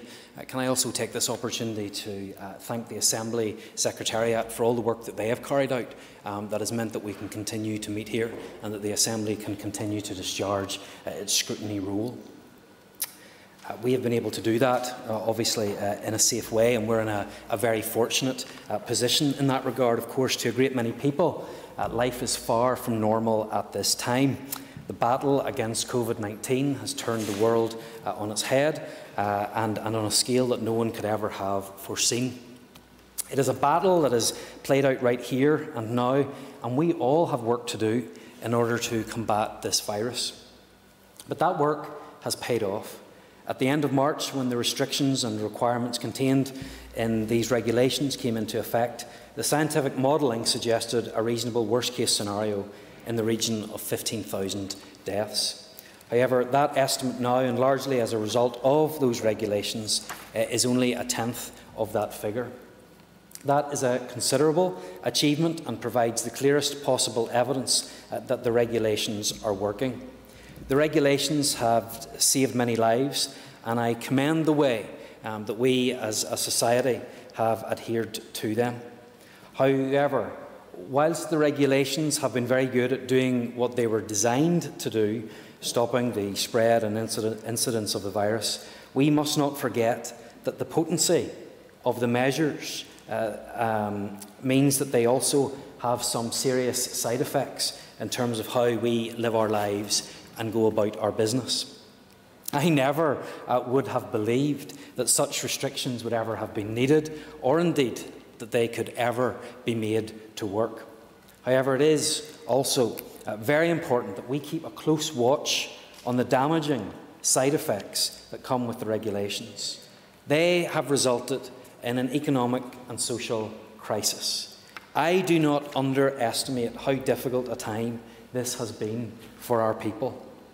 I have had business owners on the phone with me in tears, concerned about the future of their businesses. I've heard from people who are desperate to see their children and their grandchildren again. I have heard from people who have expressed their anxieties, uh, their fears, and expressed the fact that they are, are feeling lonely because they haven't been able to interact with other people. We must not, therefore, become complacent about the restrictions and requirements imposed by the regulations. They must not be allowed to become the norm it is imperative that we do not allow the damaging effects of the measures to be allowed to continue for a moment longer than necessary. Although the statutory requirement is for a review of the measures at least every 21 days, the reality is that the Executive is reviewing them on a constant basis and will not hesitate to make changes um, immediately if the science and expert evidence allows for that to happen. In fact, it is actually required by the, by the regulations themselves. That is why when it became apparent that it would be possible to ease the restrictions on access to burial grounds, the Health Minister moved to introduce the amendment regulations we have been debating today, 12 days ahead of the next formal review point. The publication last Tuesday of the Executive Approach to Decision Making document means there is now a blueprint for the review process uh, and the incremental structure for assessing uh, progress contained within the document will help uh, speed up decision making in key areas. And that is why on Thursday last week and again yesterday, the Executive was able to make a number of informed decisions based on expert advice to further ease restrictions in response to prevailing local circumstances and needs. And there will be more relaxations to come in the days and weeks ahead as we ease our way forward on the path to recovery. Now, I would like to turn to some of the points uh, that members have made uh, today, and not unexpectedly, um, given, given the um, gravity of the subject and the all pervasive nature of the measures contained in the original regulations, it has been uh, a wide ranging debate and, in some cases, an extremely uh, wide ranging uh, debate, Mr. Deputy Speaker. And I will try uh, and touch on all of the key issues related to the regulations um, that, uh, that have been, been raised. Uh, first of all, um, I want to thank um, Mr. McGrath for his acknowledgement um, of the positive benefits in regards to the opening of, of cemeteries. And, and I do agree with him, and those points were made very powerfully here uh, by members uh, in the Chamber in relation um, to the mental health um, benefit that it would be to allow people um, to go and to visit the graves uh, of their loved ones. Uh, and I'm, uh, I agree with him also that, and I think Mr Allister had raised this point as well, that it's the social distance, distancing uh, is the important thing, and it, it is the key to our success as, we, as we move forward. Uh, I understand also um, the desire that he has for clarity uh, in regards to um, issues as they're announced. Um, that is not going to always be easy. Uh, it's not going to be easy for us to um, anticipate every single um, scenario that may uh, come up, um, but we certainly will do all that we can to provide the, the advice uh, that people are, are looking for. He also mentions the over 70s. And obviously, there has been uh, guidance and advice that has been given to those that fall into the, to the vulnerable category. Uh, however, I would remind uh, the member um, that the regulations themselves do not restrict um, the movement or activities of those that are in the over 70s category. Uh, rather, it is advice from the Public Health Agency uh, that they need to take uh, extra care. And I want to make sure that we can do everything that we can um, to help them to return to their normal lives as, as, soon as possible. But the key in all of this is reducing uh, community um, transmission, uh, and we need to do all uh, that we can to help uh, in that. Uh, the chair of the Health Committee, Mr Gildernew, uh, had said, um, had made a number of points, and I just want to emphasise to him and for the benefit of the committee and the House, the uh, Health Department has been working closely uh, with the Health and Social Care Board and the PHA to clarify UK guidance, uh, enabling people with autism or a learning disability uh, on how they can leave their home for exercise, uh, including travel beyond uh, their home. And that guidance was placed on the PHA website on the 6th of May. Additionally, I can advise that a template letter has been shared by the Health and Social Care Board with each Health and Social Care Trust for use by families upon request in support of such uh, circumstances. And correspondence issued by the Department of Health to the Assistant Chief Constable on the 7th of May asked that this would be drawn to the attention of PSNI colleagues. Uh, and the PSNI is currently applying a reasonableness test to determine whether travel can be justified uh, in any given uh, instance. Um, this is uh, reasonable uh, and, and, a pragmatic uh, approach to enforcement uh, in relation to uh, this issue. Um, in terms of the comments from um, Pam Cameron, can I uh, thank her and echo uh, the comments that she has made in relation um, to the Chief Medical Officer and the Ch Chief Scientific Officer uh, and their teams. They have been um, under a, a, huge amount of strain, no doubt. They have a very difficult and demanding job. And I know that they have um, carried out their work diligently. Uh, and in a way that we're all um, very, very um, proud of. Uh, and it is right that we put on record uh, our thanks uh, to the CMO, the CSO, uh, and their teams. Uh, of course, I completely agree with her also on her remarks in relation to funeral directors, and I commend them for their um, sensitive and professional engagement with, with bereaved families as well. We have um, been asked questions uh, a lot today uh, in terms of when can I do X or when will we be allowed uh, to do Y. Uh, and I can assure uh, all members that we will not uh, retain these me measures any longer than we have to. And I think it's worth repeating that in making decisions, the Executive will consider three key criteria. The most up-to-date scientific evidence, the ability of the health service to cope, and also the wider impacts on our health, society and economy. And when we can, um, we will make sure that people uh, know about this as soon as, as soon as we can and give them certainty so that they can set out um, uh, their plans.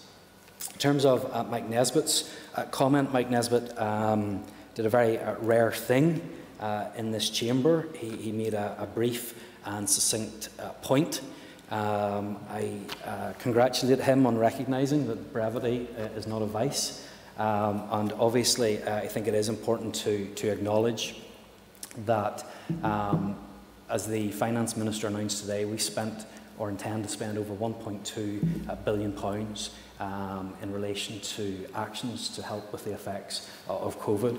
Uh, of course, um, the vast majority of that has come from, from the Treasury and also um, uh, an unknown uh, amount of resources come as a result of the, of the job retention scheme.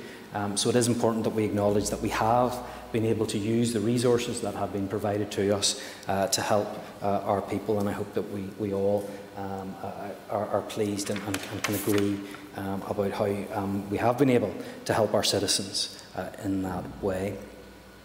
John Blair had made um, uh, comments that obviously I completely agree with and endorse that it is the citizens' behaviour um, that has led us to this point, uh, and that is the key to defeating uh, the pandemic.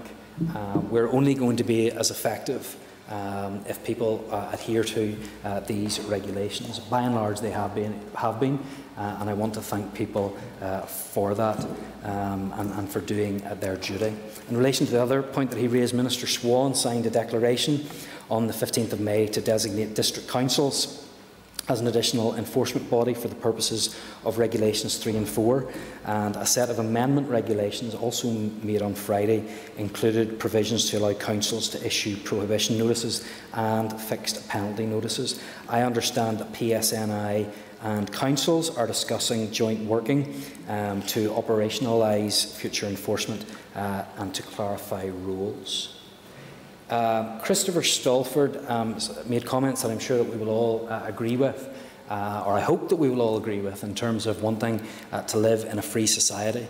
Uh, and, and, of course, this is extremely uncomfortable for me uh, to have to stand here and ask for regulations like these to be brought in in the first place. I understand the effect that it's having um, on our freedom um, that, we have, that we have, freedom that, was, that was hard won as well um, and that we can't exercise that at this time uh, is, is very difficult.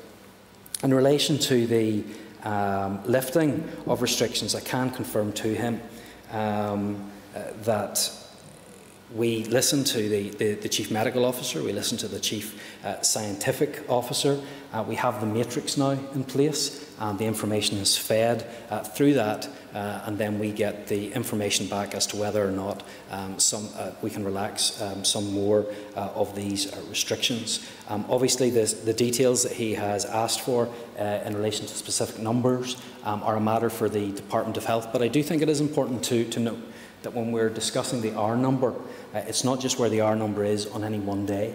Uh, it has to be the trend of where it is at. Uh, and even if there is no change in the R number, that doesn't mean that we'll be prohibited, uh, of course, from, from changing regulations, because as long as the R number is below 1, um, then there is a reduction overall in the transmission uh, of, of the disease. Um, and, and, that's what we want to see, see more of. But of course, um, the approach sets out that it's not just about the R number, it's overall, it's the evidence um, of uh, an analysis of medical and scientific advice combined with the capacity of the healthcare system to cope, along uh, with the wider impacts that the regulations are having. All of those things are taken into consideration before we decide uh, to relax um, the, the restrictions um, that are there. Uh, he made specific points uh, in relation to uh, worship. Uh, I understand um, that in the case of churches like uh, his own, I think it's Ravenhill, um, that he mentioned uh, it may not be possible for them to conduct drive-in church services. Um, I, I, understand very much that um, there are many people that are doing uh, online uh, services, of course, and I know that that is no substitution uh, whatsoever um, for, for public assembly and public uh, gathering uh, together. Uh, however, where we are able, where we are allowed to, to relax restrictions, that's what we're doing. And I hope very much soon the evidence will show um, that we will be in a position where, where churches can reopen for, for, public worship, and, and I look forward um, to that day.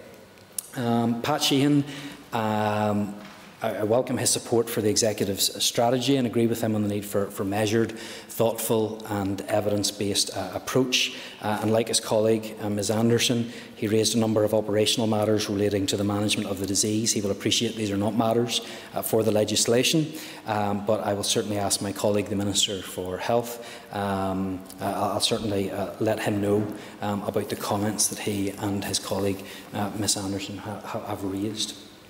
Uh, Mr O'Toole rightly uh, emphasised the need for clear uh, and straightforward communication uh, to citizens. I do think it would be helpful uh, if we could get, as we move through um, the, the, the, process, that we could have some graphic which shows where we are, perhaps in each sector and, as some cases, within each sector on each stage. And um, like the regulations themselves, um, we will keep that uh, under review uh, and continually look for ways to, to, to, um, to improve that. Um, uh, Mr Chambers um, said that COVID-19 is, is not beaten yet, and that's absolutely uh, the case, um, but it won't be beaten by restrictions alone um, uh, either. Um, it's going to um, have to, to take place um, whenever we are working together and trying to combat uh, this disease and following the restrictions. Um, and I completely agree with him on, on what he has said. Um, he did mention a specific point in relation to testing that there are some sensitivities that need to be addressed. He's absolutely right. There are human, human rights considerations that we need to be um, conscious of uh, as well. Um, there may be residents that um, do not want to consent to be tested or may not be able to consent um, to be tested because of um, dementia, dementia or other illnesses, and those considerations have to be very carefully uh, considered um, uh, and, and, and, in a sensitive way, obviously, uh, as well. Uh, in relation to other comments um, that were made, um, I just want to pick up on a few things that, that, that Mr Allister uh, said. In terms of uh, enforcement, I think it's regrettable um, that those uh, issues that, that, he and uh, Mr Stalford raised, that, those took place. Um, I think that we are in a better place now. Uh, I believe that the police um, are, are, more aware of their, of their responsibilities um, uh, as well. It is obviously a matter, an operational matter for, for the PSNI, but he has put those on record today. And I hope that the changes that we are implementing in the regulations today uh, will lead to less um, of that sort of, uh, of enforcement. In relation to the, to the caravan issue, I do have, have sympathy and I have many constituents who have also contacted me uh, in relation to this issue and I, I understand the mental health benefits as well that can come from being able to be uh, in, in your caravan and the, the um, that issue will be assessed based on the scientific and, and, medical evidence along with the other benefits that, that it might bring. At this stage, we're not in a position um, to bring in those uh, regulations. I understand the, the, the anomaly, anomaly that he, he has raised uh, in, in relation to this, but of course, if we were to say, uh, if you're going to play a round of golf, uh, you can go and stage your caravan. There will be lots of other people that might say, well, why is he allowed to go there, uh, but I am not? So we have to look at these things in the round, but I understand uh, the, the points that he, he made in relation to that, and also the point uh, that he made in relation to um, looking at the science uh, as well. It should not be for us um, as politicians to, to, to give uh, scientific advice if we do not have those qualifications.